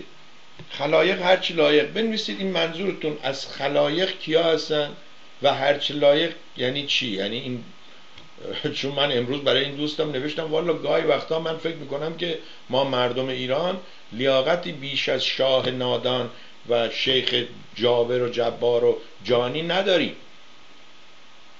من قشنگ اینجوری توضیح میدم. خلایق هرچه لایق لایق همین شاه احمد شیخ جبار. شما منظورتون چیه؟ چرا شما اینقدر نوشتید؟ ببینید یک دو سه چهار پنج شیش تا نوشتی؟ من نمی‌فهمم. منی که هم زبان شما هستم نمی‌فهمم. و ببینید یه دونه نوشتید که باب وودورد و اون یکی دوستش خیلی ممنون. باد و کارل برنشتین فکر کنم دوتا هم کلیمی باشه.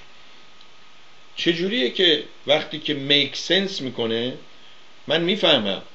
وقتی وقتی نو سنس نمی‌فهمم. حالا این نانسنس و نوسنس و اینا هم برای دوستان شما توضیح بده. چون من دیگه واقعا زبونم باید آهنگ بخونیم مثل که میگن وقتی زبان از گفتن باز میماند موسیقی آغاز می‌شود. بریم یه موزیک گوش کنیم. بیاد یکی بخونه. دوستان زنگ بزنید. این شماره تلفن من می‌ذارم اینجا. زنگ بزنید. با صدای خودتون آهنگ بخونید. من آهنگا رو پخش می‌کنم در برنامه آینده. شاید نونی بشه گوشتی بشه برای ایرانیان. اجازه بدید این شماره تلفن. 202 695 25 73 یعنی من واقعا دیگه گیواب کردم. بریدم. خب صحبت هم که آقای آریان پور می‌کنه مال گذشته است. اونا هم به درد عمه من می‌خوره اگه اینجوری که شما میگی. چی بگیم؟ شما چی داری برای امروز؟ بیا بگو. چی می‌خوای برای فردا؟ بیا بگو. این آقای سلامی وقتی این چیزها رو میفرسته میگم چقدر خوب شد. شما 500 سال گذشته رو توضیح دادی. آقای سلامی میگه دولت انگلستان 500 سال رو خمینی کار کرده. میگم آقا نوشته خودتو بخون ببین چی داری میگی. دولت خمین دولت انگلستان 500 سال رو خمینی کار کرده. حالا این پروفسور مملکت ما چهار ساعت تا اینجا را نورت کارولاینا این پروفسور مملکت ما. شما هم که یک کتابخون مملکت ما هستی. یه بانوی مملکت ما هستی. منم که یه بی سواد افتادم اینجا. خب این دوستمون وحش نوشته کجاش تعذیه است شما میگی اینا تعذیه است این محملات دینی برای مردم ایران نان و گوش نمیشه. خب یکی هم کم. بعد ایشون نوشته کجاش تعذیه است؟ بازخانی تاریخچه وهابیت است. داره به من و شما نشون میده که اینا چجوری از یه خاکی که اونجا هیچ کاری انجام نمیده خودشون سر رو مهر نمی‌ذارن. ولی من رو نمی‌دونم اون یکی دیگه احمق باید مهر از کعبه و مکه و فلان برامون بیارن. اینا داره این رو میگه. و شما میگی این آقا کیه؟ این آقا اسمش محسن لایقه محسن لایق هم کلاسی هم اسمش محسن لایقه چه فرقی داره با اسمش خسرو شکیبی باشه؟ با اسمش نادر روزبه باشه. چه فرقی داره؟ ایشونو من می‌شناسم. چل پنجاه سال پیش در رادیو تلویزیون ایران کار کرده. کار خبرنگاری کار تحقیقی انجام داده. محققه.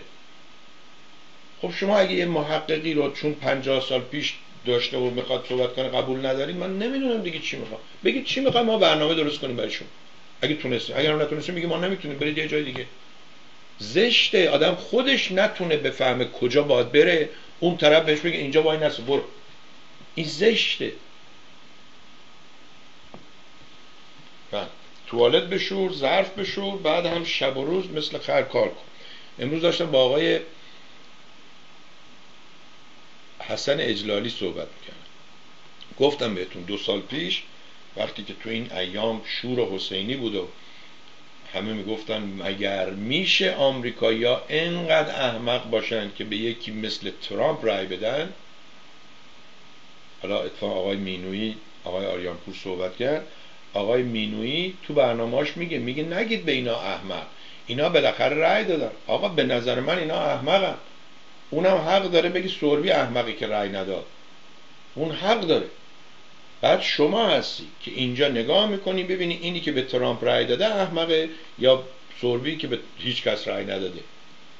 اگه کلمه احمق استفاده نکنیم کلمه نادان استفاده نکنیم. کلمه این آقای میشه یزدیان مردک رفته دنبال آخوند نوری علا. چی میگن؟ درود ورود درود ورود. یه مشت اولاغ دور هم جمع میشن.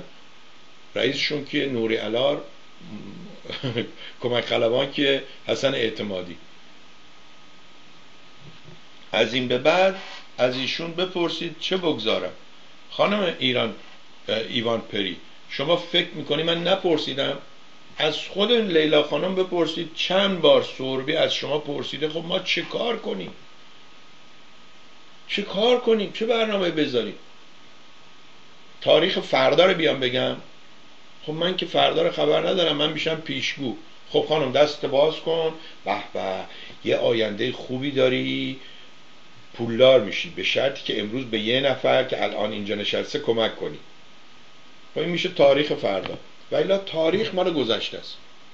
گذشته رو نگیم چشم. فقط امروز رو بگیم حالا دیگه بودایی شدیم. فقط همین یه لحظه چشم. هر کس به ترامپ رأی داده کلش خراب بوده. خب حالا همین آقای مینوی میگه نگید. بعد آقای مینوی اتفاقا حالا من می‌خوام یه روز ازشون دعوت کنم. این دو تا فیلمشون که حالا نشون داریم دو هفته گذشته گفتم که ایشون برنامه هاش اینجا بود. بعد یه روز من گفت آقای سوربی من می‌خوام برم تو تلویزیون کانال یک چون اونا روی satellite هستن. گفتم حتما بریم. ولی چرا فکر می‌کنید satellite گفت آخه اون میره ایران می‌خوام ببینم بلکه تو ایران ما یه کاری کنیم. گفتم آقا این همه احمق و دیوانه روانی تیمسار روانی آقا فولادوند اینا آمدن صحبت کردن مردم ایران به اینا اصلا محل سگ نذاشتن.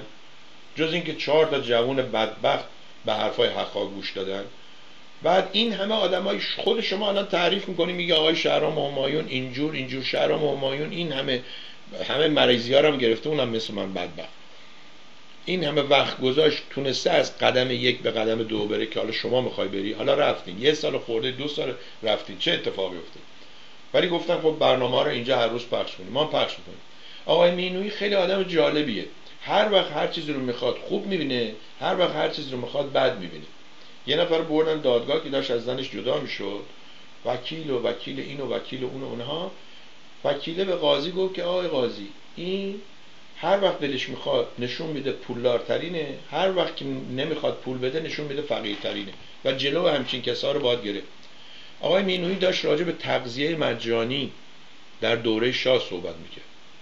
و اینکه چجوری ایشون آخر دوره شاه به اصطلاح چند سال آخر طرفدار شاه شده برعکس همه که مخالف شده بودن ایشون قبلا مخالف بوده و طرفدار مصدق بوده چون جوان بوده. بعدا آخر دوره شاه موافق دوره شاه میگو من رفتم بندر دیدم چه بندری دارن می‌سازن. آقای آریانپور میگه آقا هیچ کدوم از این طرحها اجرا نشد. این طرحها رو هی گفتن پیشنهاد کردن چون پول نفت افتاد دستشون. آقای مینوی وقتی یه پولی زیاده طرف میاد میگه چطور تو آمریکا هستا دوستان اگه بهتون بگم یه چیزی هست بهش میگن بریج تو نوور یعنی پل به هیچ جا. پل می‌زنن آخرش تو حواس. فقط برای که پول مصرف بشه. باورتون میشه؟ این آمریکا. ایران هم این طرحهایی که می‌دادن بیان یه طرحی بسازیم از وسط کبیر دور بزنیم نزدیکتر بریم تهرون می‌دادن پول می‌گرفتن اون می‌کرد چیز میگن زمین می‌داده. اونم می‌کرده دیگه. زمین می‌داده اون رو نمی‌دونم فلان می‌کرده. بعدم بعد وقت ملتی نبودن چکن بلنسی باشه چیزی رو کنترل کنن. هیچ. شد این. اینایی که الان عکس این جایی که معتادا سرشون تو جوب آب و اینا نشون میدن این خونه ها رو نشون میدن اینا که تا چل سال پیش ساختمون بلند پنج طبقه نبود که مردم توش زندگی کنن. حلبی آباد بود. حالا از حلبی آباد شده که صافت آباد. عکس دارم حالا کتابش اینجا نیست. خیلی ممنون. خانم ایوان پری میگه برنامه شما عالی و من عاشق آن هستم. حمایت کنید. حمایت کنید تا ما اینجا زبونمون درازتر بشه. بله. و اما نه دیگه. خانم لیلا میلانی آمد اینجا دید گوشت و اینا نیست. لابد رفته برنامه نگاه کنه که گوشت و نون به مردم ایران برسه. ولی اگه آدرس رو ما می‌دادن ما هم تبلیغ می‌کردیم با هم می‌رفتیم همه اونجا نگاه می‌کردیم و بالاخره ما, ما دوست داریم مردم ایران گوشت و نون و اینا گیرشون بیاد دوستان یادتونه یه خلبان اختصاصی مسعود رجوی؟ اگه اشتباه نکنم همون خلبانی بود که خلبان شاه بوده بعد بنی صدر رو رجوی رو فرار داد بعدم خودش همینجوری جز سازمان مجاهدین موند. حتی موقعی که اینا با عراق اون عمل خائنانه رو انجام دادن بر علیه ایران. بذارید ببینم همینه. خلبان اختصاصی مسعود و مریم رجوی از فرقه رجوی فرار کرد. پنج تا خانم دیگه هم از اونجا فرار کردن. و این دوستونم یه وبسایتی داره. من تا حالا حداقل 20 بار بهش گفتم آقا این وبسایتی که می‌ذاری قرمز این کسی مثل من نمیره اون پایین نگاه کنه. بله. قتل در فرقه های مخرب یکی از روش های شناخت شدن رهبران فرقه در مقابله با هر گونه عدم اطاعت و فرمان برداری و یا تمایل و قتل یا خودکشی. فرار کرد کیست؟ حالا من نمی‌دونم. سپتامبر 5 همین امروزه بذارید نوشته رو براتون نشون بدم. اینجوری بخونید. و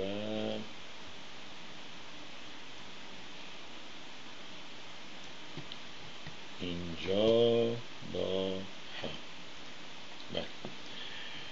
میگن که قد در فرقه های مخرب چنین چنان فشارهای طاقت فرسا و یا جریانات دهشتناک درونی فرقه و سیاستهایش را تحمل کنند می باشد این امر به ویژه وقتی بسیار نگران کننده می شود که فرد و افراد مورد نظر حاوی اطلاعاتی باشند که از نظر رهبری فرقه افشای آنها در بیرون از فرقه برای رهبری آن خطرناک ارزیابی گردد. در این صورت است که به راحتی قدر جهت حذف خطر به سادگی در ابعاد تکی و یا جمعی صورت می‌گیرد. در این رابطه سایت تدکو یا تدکو یا تکنو سایت تخصصی مطالعه در مورد فرقه ها قطع های انجام شده توسط فرقه ها را چنین توصیف می کند قطع یا خودکشی؟ والا من دنبال این میگردم که ببینم این خلبانه چجوری رفته. شما هم متاسفانه مثل انشای اون وقتا می‌خوای حتما دو صفحه بشه توضیح دادن. در تمام موارد زیر لیستی از مجاهدین وجود دارد که سوژه های آن بودند که توسط جدا شدگان به طور مفصل, مفصل تشریح و حتی به اطلاع ارگان های حقوق بشری رسانده و به صورت کتاب و و منتشر شده. آخرین نمونه آن توسط خانم فرشته هدایتی از اعضای شورای رهبری خب هیچی ما به این فرار این چیز نرسیدیم. بله. دوستان متاسفانه این یکی از اشکالات بزرگ دوستانی هست که می و اشکال ما هم هست که کم حوصله هستیم. اینا یه چیزی رو که مد نظر قرار نمیدن زمان این روزاست. حالا نمی‌خوام بگم شماها چون جدا شده هستید 24 ساعت در روز وقت دارید و میشینید و اینها و دیگران ندارن ولی دوست عزیز این روزا مردم وقت ندارن همه تو عجله هستن. شما تیتر که می‌زنی راجع به این کسی که میاد اینو می‌خونه یه شناختی از سازمان مجاهدین داره. بله یه پاراگراف دو تا پاراگراف سه تا پاراگراف نه سه صفحه دیگه چیزهای دیگه رو بچپون تو حلقوم ما که می‌خوای یه خبر بدی که خلبان اختصاصی رجبی هم فرار کرد. بله میگه اکبر اکبری آقای مینوی مثل شیعیان طرفدار حاکم معزول است. حالا داشتم اینو می‌گفتم. آقای مینوی شروع کرد راجع به تغذیه مجانی توی دوره شاه می‌گفت. خودش گفت که چون دبیر بوده و مدیر بوده ایشونم خودش گفت بچه های تهرون که این خوراکا رو قبول نداشتن با, با این خوراکا می‌زدن به همدیگه. نگاه کردن برنامه تا آقای مینوی کامل. اینو شما داشته باش. بعد می‌گفت البته بچه هایی بودن در ایران که خوراک گیرشون نمیمد. و همین خوراک مجانی در مدرسه نعمت بزرگی براشون بود. یکی نیست از آقای مینوی سوال کنه. آقای مینوی چون میگه تلفن میترسه از درس اینایی که فوش میدن باز کنه یکی نیست بهش میگه آقای مینوی. پارادوکس میشه ضد و نقیز گفتن دیگه نه؟ این حرفای شما ضد و نقیزه شما یه وقت داری توضیح میدی چه خوب بود چه ساختن چه پول بود چه من وضعم خوب بود. یه وقت توضیح میدی که اینجا اگر مدرسه به اینا خوراک نمی‌داد اینا تو خونه خوراک نداشتن. چرا نباید ایرانی ها در زمان شاه توی خونه خوراک داشته باشن؟ حالا امروز دوست ما برداشته برای من فرستاده برنامه ویدیوی تلویزیون کلمه که دو تا عربی که به فارسی حرف می‌زنن توهین می‌کنن به من و شما که گوشتای قربونی عربستان بدید. این گوشتای قربونی پولاش ایرانیا دادن.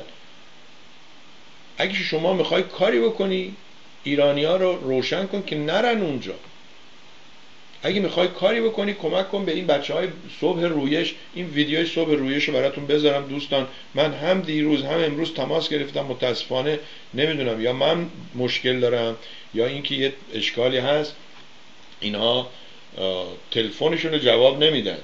و ایمیل هم فرستادم ایمیل هم جواب ندادن تا حالا. و این یه دفعه یادمه وقتی به اون آقای حسینی بود کمک می‌کردیم برای حیوونا و سگهای ایران. یه دوستی گفت من نمی‌دونم چرا به چی میگن؟ Public relation روابط عمومی ایرانیا خوب نیست. گفتم آقا شما خود ما رو نگاه کن. ما دو نفر ایرانی نمی‌تونیم به فامیلمون زنگ بزنیم براش پیغام بزنیم بگیم من زنگ زدم احوال تو بپرسم شما نبودی. حالا یه وقت دیگه. یه زنگ می‌زنیم طرف تو نگرانی میندازیم پدرشو در میاریم. اونم میگه حالا من زنگ بزنم. این سربی که پیام گذار زنگ زده گفت یه زنگ من بزن پول می‌خواد. مرده بیمارستانه. خب وقتی من و شما نمی‌تونیم با هم دیگه ارتباط برقرار کنیم انتظار داری این سازمان این سازمانی که این بچه نگاش کن بنده خدا. از بچه من جوانتره دیگه. بفرمایید. گوش کنید. سلام. محمد حسن داوودی هستم. مدیر مدرسه کودکان کار صبح رویش. نمی‌دونم رویش رو چقدر می‌شناسید. مدرسه ای که 612 تا از بچه های کار بچه های در معرض آسیب رو ثبت نام کردیم و داریم بهشون مهارت های زندگی یاد میدیم و مهارت های شغلی. ما بچه ها تو مدرسه مهارت نگفتن یاد میدیم برای اینکه یاد بگیرن مواد مخدر رو جابجا نکنن. مهارت کنترل خشم یاد میدیم برای اینکه با یه درگیری ساده تبدیل به مجرم نشن.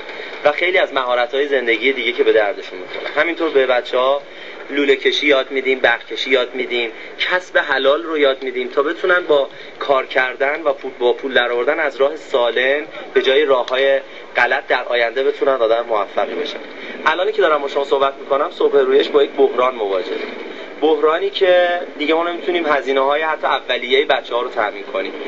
ما امروز با فاطمه خدافزی کردیم و تو این مدت اخیر با حدود 150 60 تا از بچه ها مجبور شدیم خدافزی کنیم. و از دیگه تو مدرسه نتونیم این بچه ها رو برای سال بعد داشته باشیم. بچه هایی که دونه دونهشون رو با سختی جذب کردیم. از چهارراه ها از محل کارشون. و پدر و مادر رو راضی کردیم. با یک سختی خیلی زیادی تونستیم پای بچه ها رو مدرسه باز بکنیم و الان به خاطر یک سری نبودن یک سری هزینه های خیلی جزئی نمی‌تونیم دیگه. خیلی از این بچه ها رو داشته باشیم. یک کمپینی رو اندازی کردیم به نام تنهایی نمیشه. اگه بخواید با این کمپین همراهی بکنید با پرداخت ماهانه 50 هزار تومن که برای ما این پول بسیار ارزشمنده می‌تونیم یک بچه رو از سر چهار راه به پشت نیمکت ببریم و بهش خیلی از چیزهایی که برای زندگیش لازم داره رو یاد بدیم. الان برای ما تا آخر تابستون همین فرصت کم حکم مرگ و زندگی رو داره. ما اگر بتونیم این بچه رو تامین بکنیم و برای هر کدوم از بچه همون حامی پیدا کنیم می‌تونیم تا آخر سال نگهشون داریم اگر دوست داشتید از این طرح حمایت بکنید صبح روش رو تو اینترنت سرچ بکنید و به سایت صبح رویش برید و طرح بورسیه رو مشارکت کنید و همینطور این فیلم رو برای ما منتشر بکنید. اگر این فیلم رو بتونید دست به دست بدید و از ما حمایت بکنید. خیلی برای ما موثره و بسیار ارزشمند و ما می‌تونیم این بچه ها رو برای آینده آماده بکنیم و یاران صبح رویش که دارن عاشقانه با تخصص های بسیار بالا 80 نفر دارن در صبح رویش کار می‌کنن. به آرزوشون می‌رسن و مسئولیت اجتماعی ما و شما برای آینده بهتری برای این بچه ها به نتیجه می‌رسه. خیلی ممنون. صبحرویش یا سرچ کردن صبحرویش در اینترنت و انتشار فیلم درخواست من از شماست. سلام محمد حسن داوودی هستم مدیر چشم ما تا اونجایی که بتونیم اینو پخش می‌کنیم. ممنونم سعید دیروز روی فیسبوکش گذاشت. ممنونم پتیک کمکش فرستاد. این خانم نون و گوشت الان این آدرس صبح رویش. شما تماس بگیر به سربی هم اطمینان نکن. با فامیلاتون تو ایران. مگر اینکه بگی خلایق هرچه لایق. اینا مردم لیاقت آخوندا رو داشتن بذار از گشنگی بمیرن مگر اینکه مثل ترامپ عقیدت این باشه که این محرومیت چیه؟ این sanction. اینا رو انقدر زیاد کنیم تا مردم از گرسنگی انقلاب کنن نمی‌دونم مردم از گرسنگی انقلاب می‌کنن. بعضی میگن از سیری انقلاب می‌کنن. اگه شما باور دارید زمان شاه مردم از سیری انقلاب کردن برید به ترامپ بگین این مردم دیوونه هستن. اینا رو انقدر بهشون بدید سیر بشن انقلاب می‌کنه Products ها؟ آقای معزی آه سلام می‌کنم به آقای احمدعلی مسعود انصاری. خیلی ممنون آقا پیام شما رو گرفتم متشکرم. و ایشون نوشتن که آقای معزی خلبان شاه بود. فکر می‌کنم ایشون فوت کرده باشد خدا را شکر می‌کنم که برادر خود را کاملا سالم و خوب می‌بینم. انشالله همیشه خوب و سالم باشید. خیلی ممنون. آقای انصاری به من نصیحت کردن که از لحاظ اعصابم مواظب خودت باش. اگه بذاره این لیلا خانم. اون وقتا لیلا خانم انصاری حالا این لیلا خانم میلانی. بله. چشم. خیلی ممنون. و میگم که ما یه مقاله ای رو این دوستمون فرستاده بود خوندیم که بلکه ببینیم این خلبانه که فرار کرده کی بود. ولی می‌دونم که پنج تا از زنا تازگی فرار کردن. حالا اینو آقای داوود باقروند فرستاده بود ولی متاسفانه مقالش انقدر طولانی بود که گویا نبود. اینم از این. بریم باز. آها می‌خوام براتون یه نوشته ای رو بخونم. می‌دونید که گوگوش و آقای سیاوش قمیشی از همه business lady تر و businessman و کاسبتر این گوگوش. انقلاب که شد گفت خوب شده که شده. من کجا برم؟ برم تو پوست بره از مرز فرار کنم بعد برم اونجا وایسم توالت بشورم بعد خیلی ارتقا پیدا کنم ظرف بشورم بعد خیلی ارتقا پیدا کنم. ویتری و ویترسی کنم. همینجا وای میستم زیر پای آخوندا. وایساد زیر پای آخوندا بهشم خوش گذشت. آقا خوبه آقا نازه. بعد که اینجا بیچاره شوره و اون و اون هی 20 نفر سی نفر تو رستورانا ها رو جمع کردن. ایرانی ها وضعشون خوب شد. دست به جیب و پول خرج کردن و گفت حالا من میرم. احمقا شما بلیت میفروشین سی دلار؟ من حالا میام نشونتون میدم. بلند شد اومد اینجا بلیت 500 دلار. اونم یه بار گوگوش که قبول نیست که اونم مثل روکت نماز باید پنج شیش روکت بخونی. پنج بار برو گوگوش ببین شیش بار برو گوگوش ببین. همون جلسات اول بود می‌گفتن یه میلیون دلار برای این پسر عقب افتاده کامبیز و نوش آپارتمان خریده خونه خریده بمانه. خانم گوگوش بعد را افتاد پرچم و برو نیویورک و بعدم دیگه حالا کنسرت ها یکم تق و لق شده کسی حوصله نداره بره دو تا پیرمرد پیرزن ببینه و اینها. حالا آمد نشسته با سیاوش قمیشی آهنگ خونده. چهل سال دست و پا بریدن چهل سال کشتن و اینها. یه آقایی یه شعری نوشته خیلی قشنگه. اگه بتونم براتون پیداش کنم و اگه بتونم درست بخونم فکر کنم این جواب همه دوستان میشه. بله بذارید ببینم که چهل سال تو میگی این چهل ساله؟ بله یه جور میگی چهل ساله که ما بدبخت و نابودیم که انگار پیش از اون هر شب توی کاباره ها خوش بودیم. البته این در مورد گوگوش صدق می‌کنه چون این پیش از اون تو کاباره ها خوش بوده. حالا از موقعی که باباش به زور میبردتش تا بعد که دست محمود قربانی بوده تا بعد که با بیروز وسوقی بوده تا بعد که با نمی‌دونم دربار و مروار بوده بماند. ولی این شعر. بذارید اینجا رو من چی کنم؟ بهتونم نشون بدم. اینجوری اگر بشه. بله. آها. بذارید اولا خانم گوگوش این عکسشو بهتون نشون بدم که برنامه ویژه 28 مرداد پخش مستقیم. یعنی چنان شاه پر رو بود. حالا که با کمک نمی‌دونم اشرف و مشرف و شعبون بیمخ و اینها آمده حکومت رو دوباره گرفته دست دیگه خفه نمیشه بره دنبال کارش. هه هر سال میومده جشن می‌گرفته. قیام قیام ملی. اینه که الان تو کله بعضی از این شاه رفته که این بله پخش مستقیم مراسم رژه سال روز قیام 28 مرداد ساعت دو برنامه ویژه 28 مرداد در این برنامه چند تن از خوانندگان خوب رادیو تلویزیون رادیو تلویزیون ملی ایران به مناسبت سال روز قیام 28 مرداد ترانه های اجرا خواهند کرد. عکس کی؟ عکس خانم گوگوش. حالا شعر افشین علا با عنوان به خوانندگان چهل سال. خوانندگان چهل سال گفتمتون سیاوش قمیشی است و خانم گوگوش. میگه که یه جور میگی چهل ساله که ما بدبخت و نابودیم که انگار پیش از اون هر شب توی کاباره خوش بودیم. گمونت از سر سیری به ملت گمونت از سر سیری یه ملت انقلاب کردن. بهشت بود و همه با هم زدن اونو خراب کردن. یه جور میگی که این چل سال پر از کابوس و بیداده که انگار پیش از اون مردم ندیدن گزمه و جلاد. ندیدی کاخهای شاه رو ندیدی چال میدون رو. گمونم خوب یادت نیست جنوب شهر تهرونو ندیدی پهلوی ها رو؟ کیا آوردن و بردن؟ به جز منتاج و اوریانی تو این کشور چی آوردن؟ سی میلیون جمعیت داشتیم. همونقدر بشکه های نفت. نه جنگ بود و نه تحریمی. ولی پولا کجا می‌رفت؟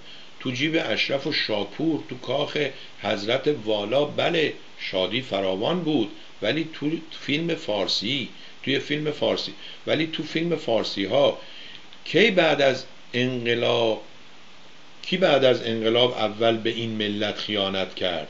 ترورها را به راه انداخت. کی از صدام حمایت کرد؟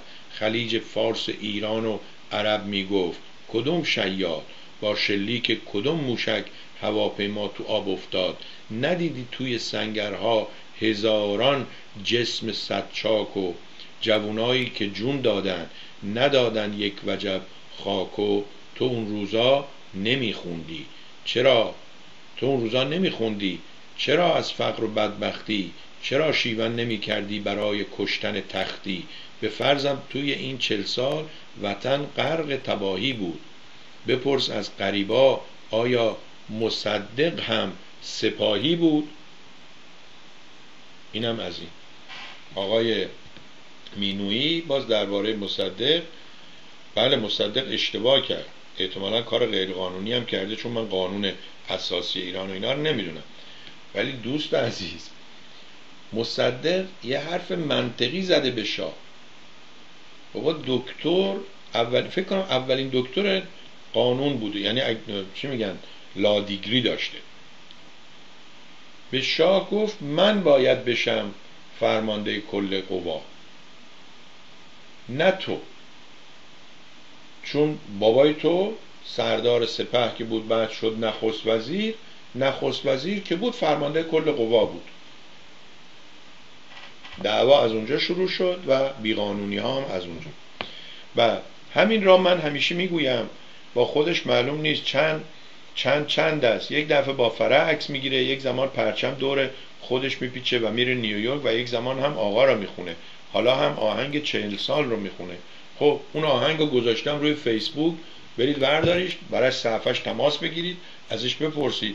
یه جا که می‌خونن سی دلار صد دلار دادید رفتید تیکت اونجا بلند بلند شید داد بزنید. دیروز برنامه این کانفرمیشن این آقا رو نگاه کنید ببینید خانم ها چجوری اونجا داد بیداد می‌کردن. می‌دونن که این قاضی رو که ترامپ آورده اینجا آقای برت کاوردی هم چیزی. که مردکه که اینم هر دفعه حرفاش عوض کرده اون وقت انقدر سابقش بده که سابقش رو ریلیز نمی‌کنه. طرف میگه آقا این 48 هزار صفحه به زور پریشب آزاد شده. و شما تا صبح خوندی که اومدی؟ خب وقت بدین بریم بخونیم ببینیم این چجوری قضاوت کرده. این می‌خواد بشه جاستیس می‌دونی قاضی های دادگاه عالی اینجا رو بهشون میگن جاستیس دیگه بهشون نمیگن جاج بهشون نمیگن قاضی. یعنی دیگه از کلمه قاضی میره بالاتر. حالا این justice یعنی عدالت. ولی برای اینا استفاده می‌کنن این کلمه رو. و ترامپ داره اینو آماده می‌کنه چون خودش می‌دونه با این کتابی که اومده بیرون با اینایی که دور برشن اون یکی بهش میگه این idiot احمق نادانه. اون یکی بهش میگه این مثل بچه های کلاس پنجمه. می‌دونید شما وقتی بزرگ هستی فکر می‌کنید بچه کلاس پنجمی نادانه. که من فکر می‌کنم این توهین به بچه کلاس پنجمی چون بچه کلاس پنجمی قد خودش می‌دونه. ولی یه آدم هفتاد دو ساله قد یه بچه کلاس پنجمی بدونه این نادانه نه اون نادانه. در هر صورت. این هم از خب بذارید ببینیم که این تقصیر تقصیر این خانم ستاره خانمه همشهری ما. اگه بیاد برنامه های هنری بذاره برنامه های زنانه بذاره. What women want زنها چی می‌خوان؟ What women say زنها چی میگن؟ اون وقت لیلا خانم هم با شما تماس می‌گیره برنامه می‌ذاره سربی میره پشت دوربین برای خودش یه نفس راحتی می‌کشه. هی لیلا خانم هم هر روز نمیاد اینجا بگه آقا این برنامه ها من چیزی یاد نگرفتم. لیلا خانم ثبت نام کنین دانشگاه مانشگاه. بعد یه مدتی هم یه مدرکی بهت میدن. به جای این تلویزیون نگاه کردن اگه رفته بودی پولتو داده بودی به این دانشگاه الان شما سه تا چهار تا دکترا داشتی. چی بگم آخه؟ اذیت می‌کنی منم اذیت می‌کنم. بله. خب. دوستی که عهد میشکند. قرار بود با شما بحث سیاسی نداشته باشیم. ولی صبح تا صبح یه ویدیو میفرستی. وقتی من جواب میدم شما میگی من اینو برای شما اشتباهی فرستادم. خب شما اشتباهی میفرستی. اعصاب منو خراب می‌کنی. وقت انتظار داری من جواب ندم. اگرم جواب میدم شما میگی من اصلا باورم نمیشه همچین چیزی. چرا باورتون نمیشه که تلویزیون کلمه عربیه؟ اگه شما یه چیزی رو نمی‌دونی دلیلش دلیل من اشتباه می‌کنم؟ شما نمی‌دونی. شما باید دانش خودتون رو ببرید بالا. باید برید این ور جستجو کنید. کم تحقیق می‌کنید میگم وقت همش با این وام او و ویمی او و نمی‌دونم واتساپ و این بزن بره این یکی اومد صد تا. نگاه نمی‌کنید ببینید کی داره از شما به عنوان کاغذ پخش کن استفاده می‌کنه. شدید مجانی کارمند این و اون. بله. و اما آقای امیر هوشنگ آریانپور رو داشتیم. دریای خزر عکسش رو بهتون نشون دادم. سه بعد از ظهر عقل بشر رو دوستمون گفت. و بذارید یه سری عکس من دارم اینجا نشون بدم. اون 1400 804 ایتم رو نشون دادم پاک کنم. ایران بایسیکل می‌دونید که توی شهرهای بزرگ اینجا شروع کردن دوچرخه میدن کرایه و میگن که به این وسیله وضع ترافیک بهتر بشه به این وسیله وضع هوا بهتر بشه این به اصطلاح دود و فوت و اینها. دود و فوت. حالا توی ایران هم گویا یه همچین عملی داره انجام میشه. این مال دو روز قبله یا دیروزه 21 سال نوشته که از فردا این دوچرخه های نارنجی رنگ مهمان تهران خواهند بود. دوچرخه هایی که با اپلیکیشن می توان آنها را پیدا کرد تا مقصد رکاب زد و بدون نیاز به تحویل به کسی یا جایی قفل می شوند تا راکب و رکاب بعدی یک حلقه از زنجیره تلاش هایی که شروع شده تا زمین و هوای تهران قابل تحملتر بشه. امیدواریم موفق بشن. اینجا که با وجودی که نتیجه خوبی داده صداشون در اومده. خیلی از این دوچرخه ها نه خودشون رو مثل پیاده رو نه خودشون رو مثل ماشین. هر وقت از این وری سبز میرن تو پیاده رو هر وقت از اون وری سبز ماشینا میرن تو ماشینا. چند تا برنامه رادیویی تا حالا گذاشتن. همه شاکی که باید یه قانون سختتری برای اینها بذاریم. یه دوستی من گفت آقا اگه امکان داره اون عکس شاه و آخوند رو یه بار دیگه شما بذار که بعضیا ببینن که این شاه سوئیس رفته چجوری ببینید حتی بعضی از این آخوندا از اون جلوتر بودن. نوشته بیچاره هویدا و این عکس رو آقای تحمورس زمانی اولین بار گذاشته بود. بیچاره هویدا و دیگر وزرا اگر همراه شاه بودن همیشه میبایست یک قدم عقبتر از شاه حرکت کنند. ولی آخون شانه به شانه و بعضی مواقع جلوتر از این ابله قدم برمی داشتند شاهنشاه پس از زیارت مرقد متحر حضرت شاه چرا شیراز 2532 اینم ای شاه ایران ویرانه گشتی البته دوستان من اینجا اینو بهتون نشون بدم که تلویزیون مردم از اینجا. تلویزیون مردم به حمایت شما نیازمند است. خب نوشتم کاغذ روز قبل و عکس ها رو نشون بده. چشم. و اما یه عکسی یه نفر فرستاده بود که ببینید این حجاج رفتن عربستان سعودی و اینجایی که زندگی می‌کنن چه گندی زدن. خب این بطری های آب هست. این روزا پلاستیک های آب هم حجم زیادی می‌گیره این ور هم به صورت آشغال وقتی هم باد میاد هم می‌بره این ور پخش میشه.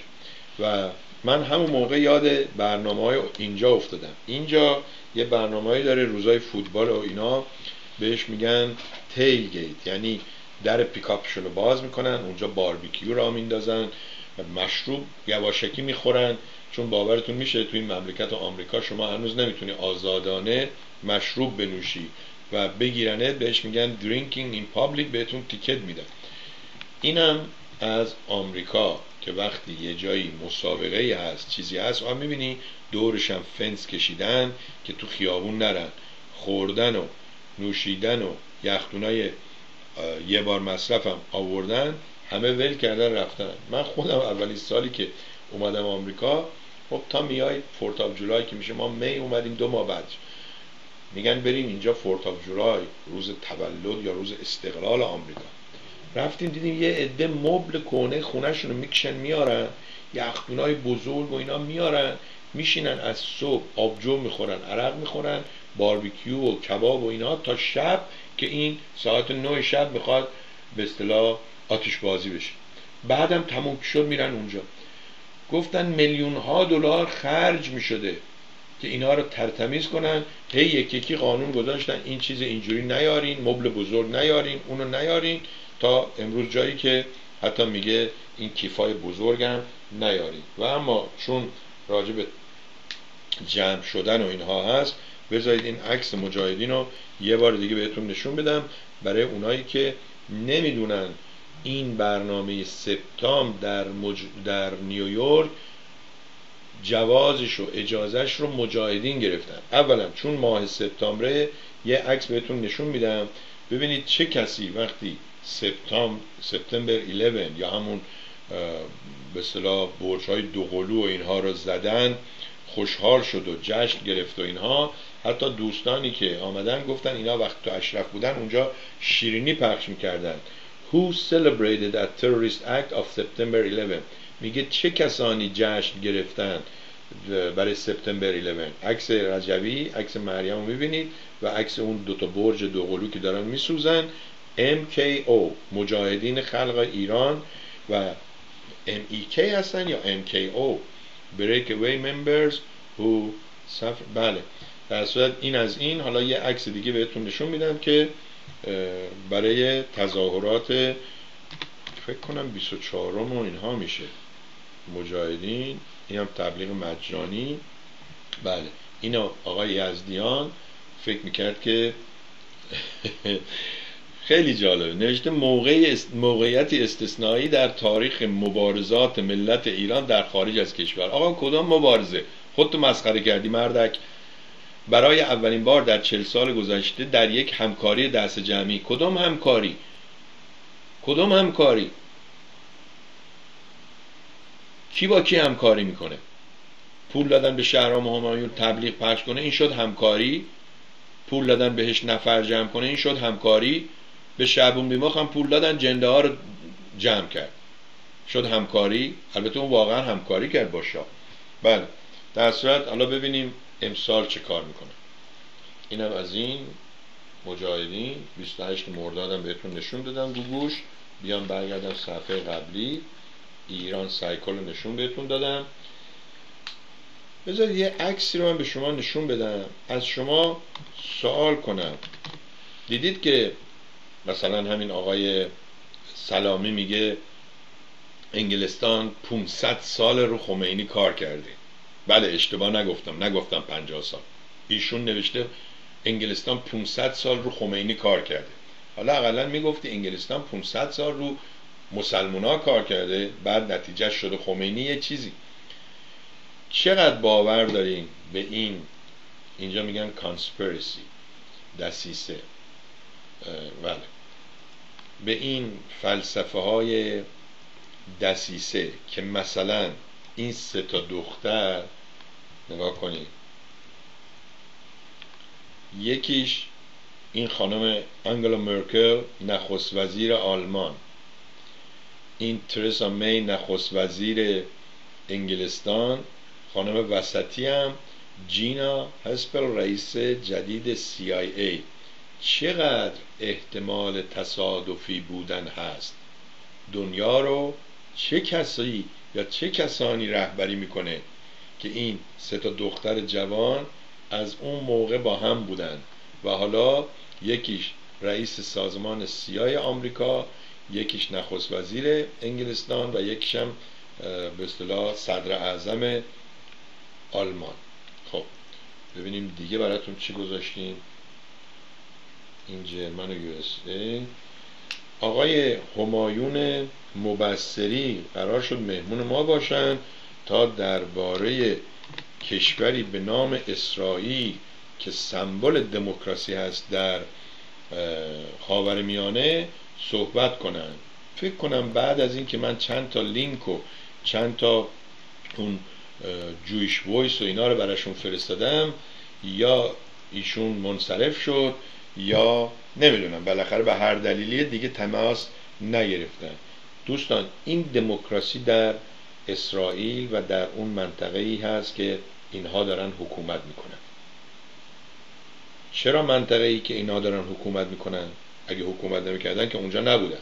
پس اینا این قسمت زیر سلطه و زیر حکومت اسرائیل درسته؟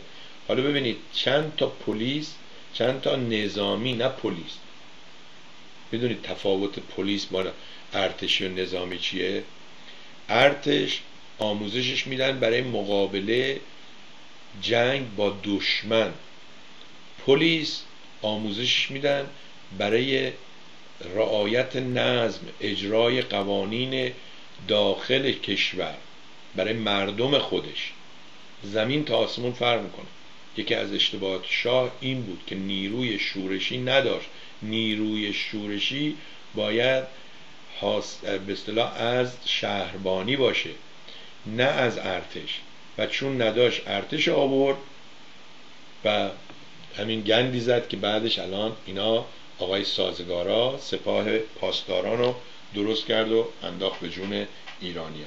اینم دموکراسی در اسرائیل منتظر آقای همایون مبصری هم خواهیم بود و یک چیزی هم هست به نام فقر. من اینجا نوشتم پیداش کنم به شما هم نشون میدم.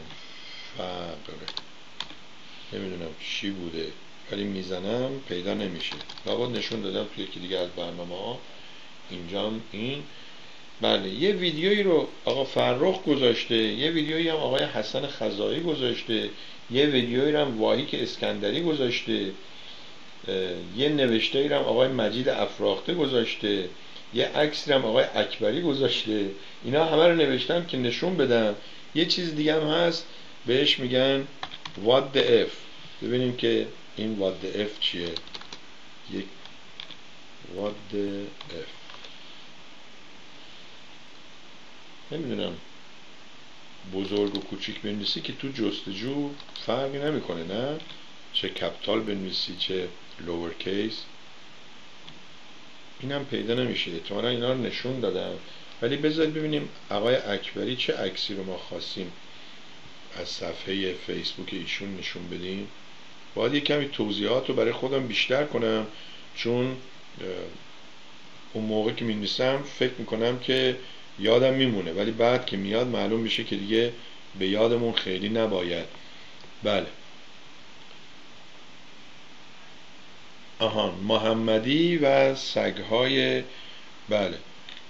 متاسف بله متاسف هستم جناب سوربی من دیگر به این آدما توجه نمی کنم البته بعد از دروغ های بی فلان محمدی و سگهای گیلان آدم نمی‌دونه. کی راست میگه چه کسی راست می‌گوید. اینم یه مشکلیه. خانم نیه وقتی که ما اون سگهای گیلان و اون آقای محمدی و اینها رو نشون دادیم ایشون اصلا ماهیانه کمک می‌کرد و خوبم کمک می‌کرد به اونها.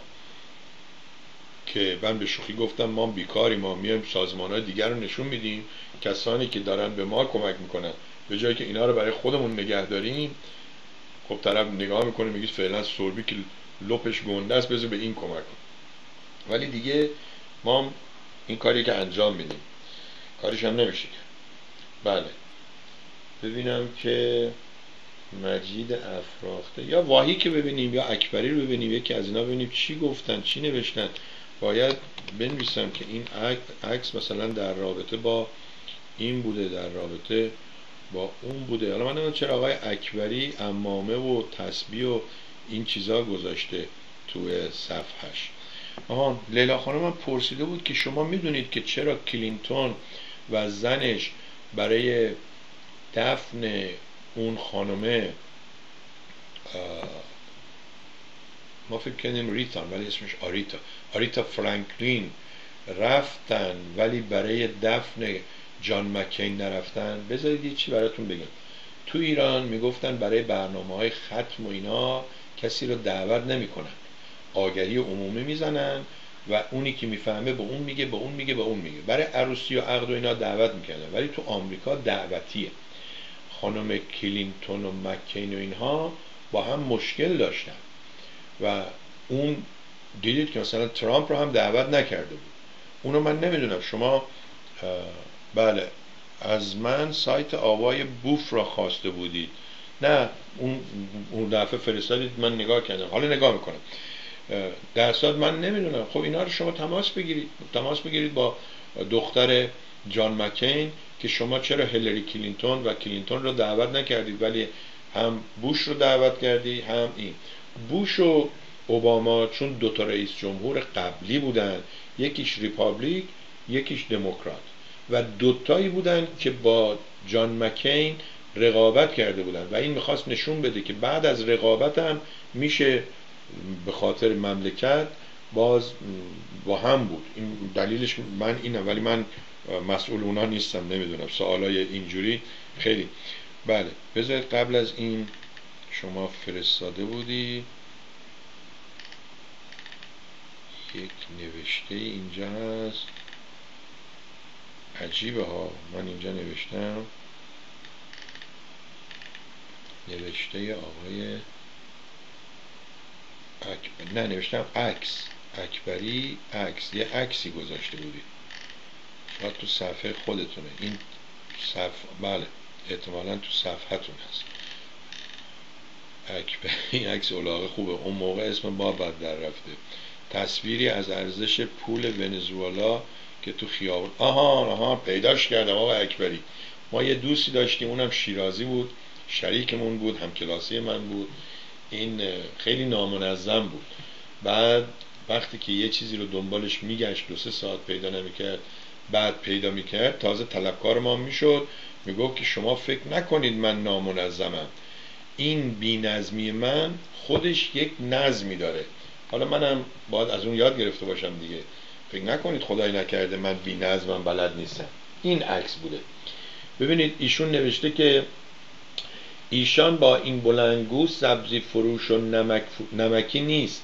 او آقای محمد جواد ظریف وزیر امور خارجه است که جلوی بیمارستانی که پادشاه در آن بستری بود مرگ بر شاه می گفت جالب اینجاست که ایشان با بورسیه دولتی در آمریکا تحصیل می‌کرد. اولا این بورسیه دولتی رو با اونایی که میگن شاه پول می‌داد اینا میان خارج اشتباه نکنید. بورسیه دولتی میگن متاسفانه ما کلمه دولت و ملت رو هم بله بهمون یاد ندادن.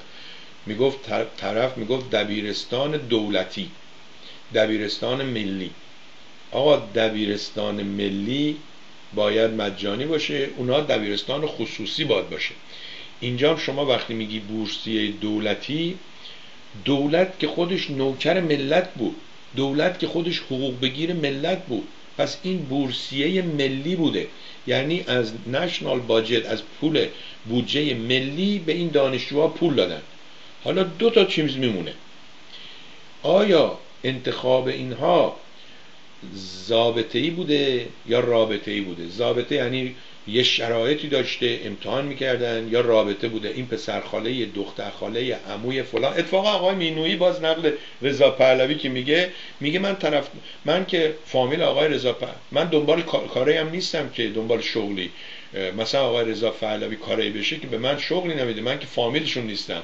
یعنی ایشون قبول داره که اگر رضا پهلوی امروز هم بره ایران باز همون اوضاع دوست دوست و فامیل و اون بیار و اون بیار. و من البته گفتم منم اگه یه کاری بشم بهم بگن آقا چهار نفر دیگر پیدا کن خب میام چهار تا از دوستا و رفیقانی که می‌شناسم می‌برم. مگر اینکه شما آقای کامران عطابکی باشی چون چیزی نمی‌دونی بگی من اگه شدم شاه بعد نخست وزیر که می‌خوام استخدام کنم آگهی استخدام می‌زنم تا همه بیان مصاحبه من نخست وزیر خب این چند سالی که تو می‌خوای رئیس جمهور بشی باید بشینی مصاحبه کنی. بله این عکس بود آقای اکبری.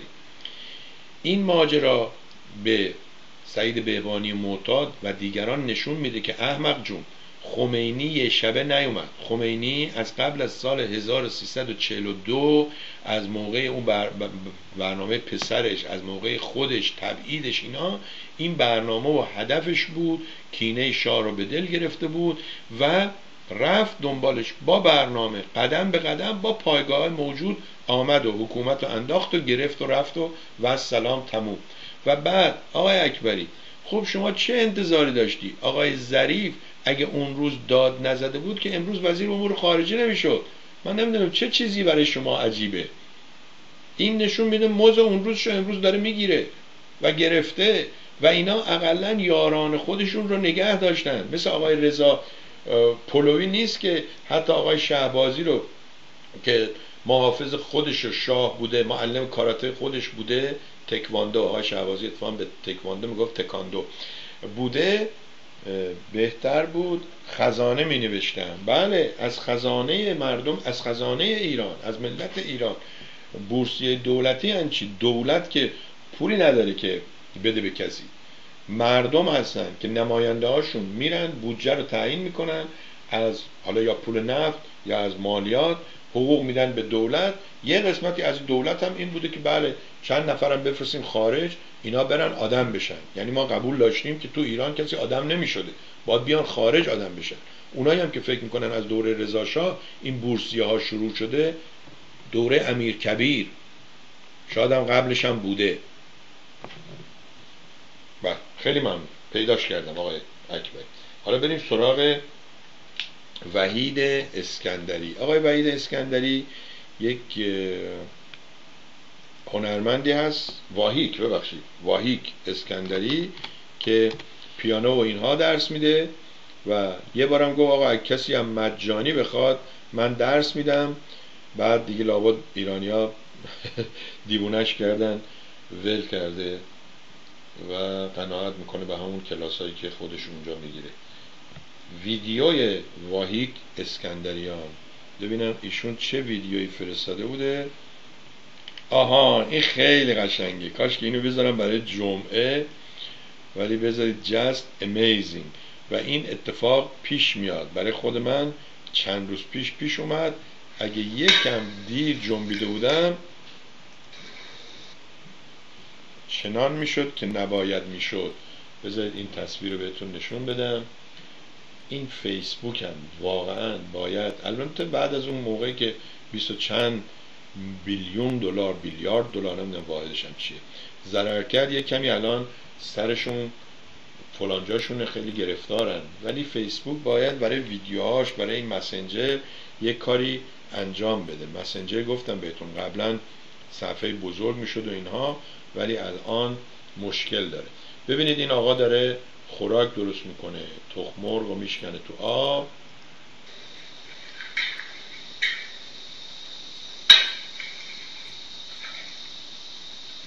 بعدم نمی‌دونم پاستا هست ماکارونی چیه.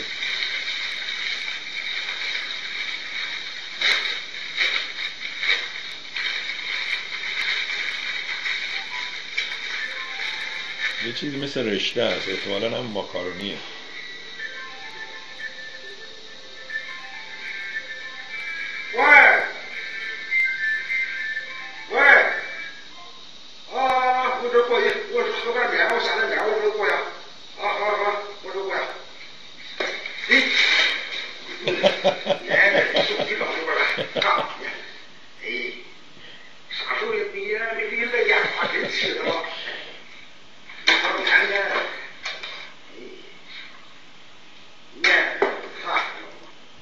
شما همچین اتفاقی افتاده. ممنونم آقای واهی که عزیز. و ببینم فرخ ویدیو چی فرستاده بود. فرخ هم جز اونایی که انقدر چی میفرسته که دیگه من بعض وقتا اصلا نگاه نمی‌کنم واقعا. ولی یه چیزی گذاشتم اونجا که به اینا میگم که من وقت نمی کنم و اگر کسی واقعا می‌خواد چیزی رو بفرسته که من ببینم بهتره که با ایمیل یا با تکست برای من بفرسته. ببینیم فرخ اینجا. بله. امروز رفتیم روز 130 دقیقه و اینها اب نداره دیگه. حالا ببینیم چی میشه. متاسفانه صفحش طول می‌کشه تا باز بشه. یه کسی که تو کارهای فیسبوک وارده به من بگی که آیا فیسبوک هم مثل صفحه های وبسایت خودمونه؟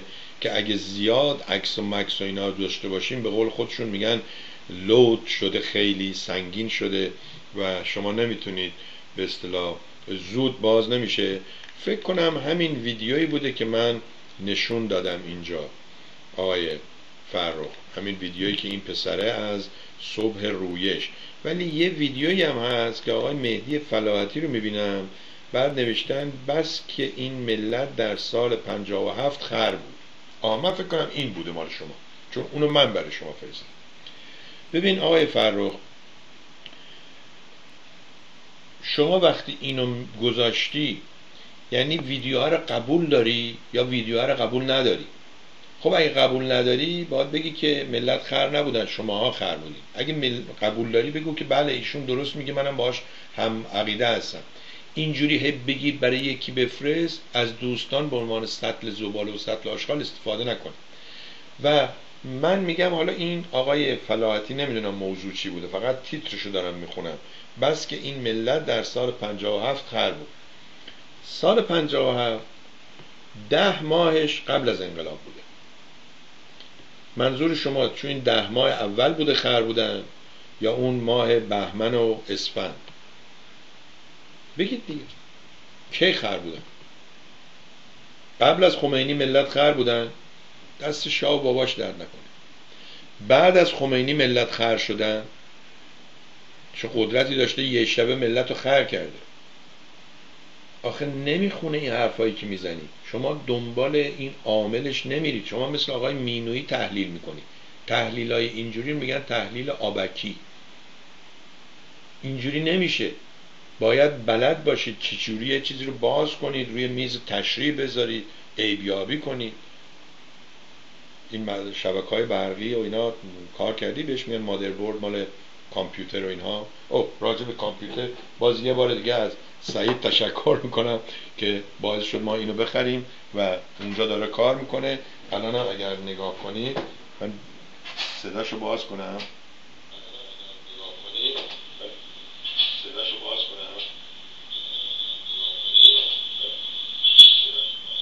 ببینید حالا اگه من صدای اونو باز کنم اون صدا میاد تو این میکروفون از اینجا باز میره از اونجا میره همینجور میره میره میره شروع می‌کنه به جیغ زدن. وای وای بوی تلفن دمش دمش اومد دمش. آها. آه اون تلفنه که افتاد تو آب میگی. بیچاره 500 600 دلاره. اینجا بعضی از تلفن ها 800 دلار. خب دوستان عزیز اجازه بدید ما همینجا برنامه امروز رو تموم کنیم. بعد نوشتم صفحه سمج تکس درایو.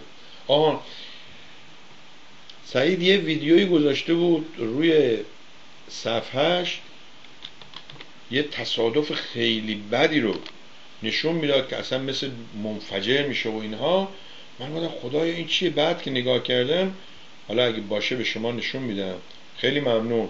نگاه کن. هم سعید این اکثر رو برات بگیرم نشون بدم. بذارید همین الان که من این یا قبلا بوده که این آوردم بالا رفت رو صفحه سعید و الان داره نشون داده میشه اینجا. مرسی. اینه. صفحه سعید کالیفرنیا. بله اینجاست. آره اینجا وقتی یکم میریم پایین تر ببینید دیروز به من تماس گرفت گو این ویدیو رو می‌خوام بذارم گذاشت و حالا بعضی اومدن آقا آیا شما گارانتی می‌کنید که این اینم اون عکسیه که این کعبه و کسافت ها رو نشون می‌داد من اومدم گفتم بابا آمریکا هم همین جوره. آخه اینا که الان مشکل بفهم. گذاشتم عکسشم اینجا. اینم آمریکا. این نازیس گو هوم. من می‌خوام اون تصادفه خیلی گذشت رو باز ضبط می‌کردم.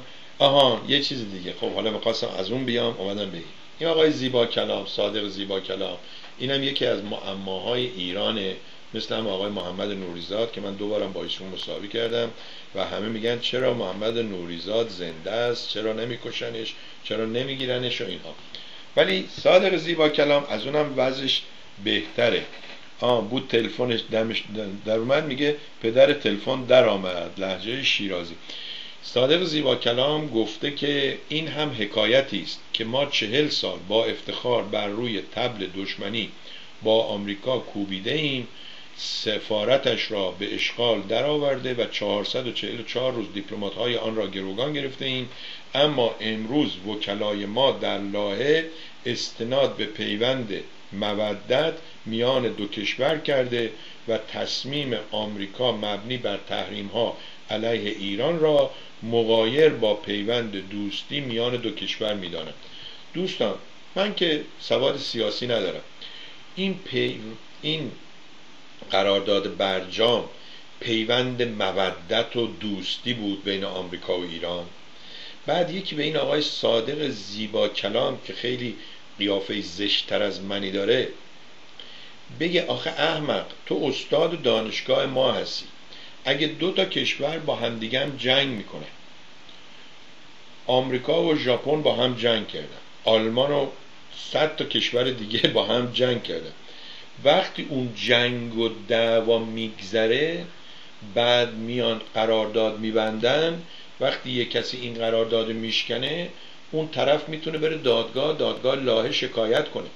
بر نمیگردن که دوباره با هم جنگ کنه. دوستان اون تو مملکتمون آقای صادق زیبا کلام. این خارج از مملکتمون تلویزیون کلمه.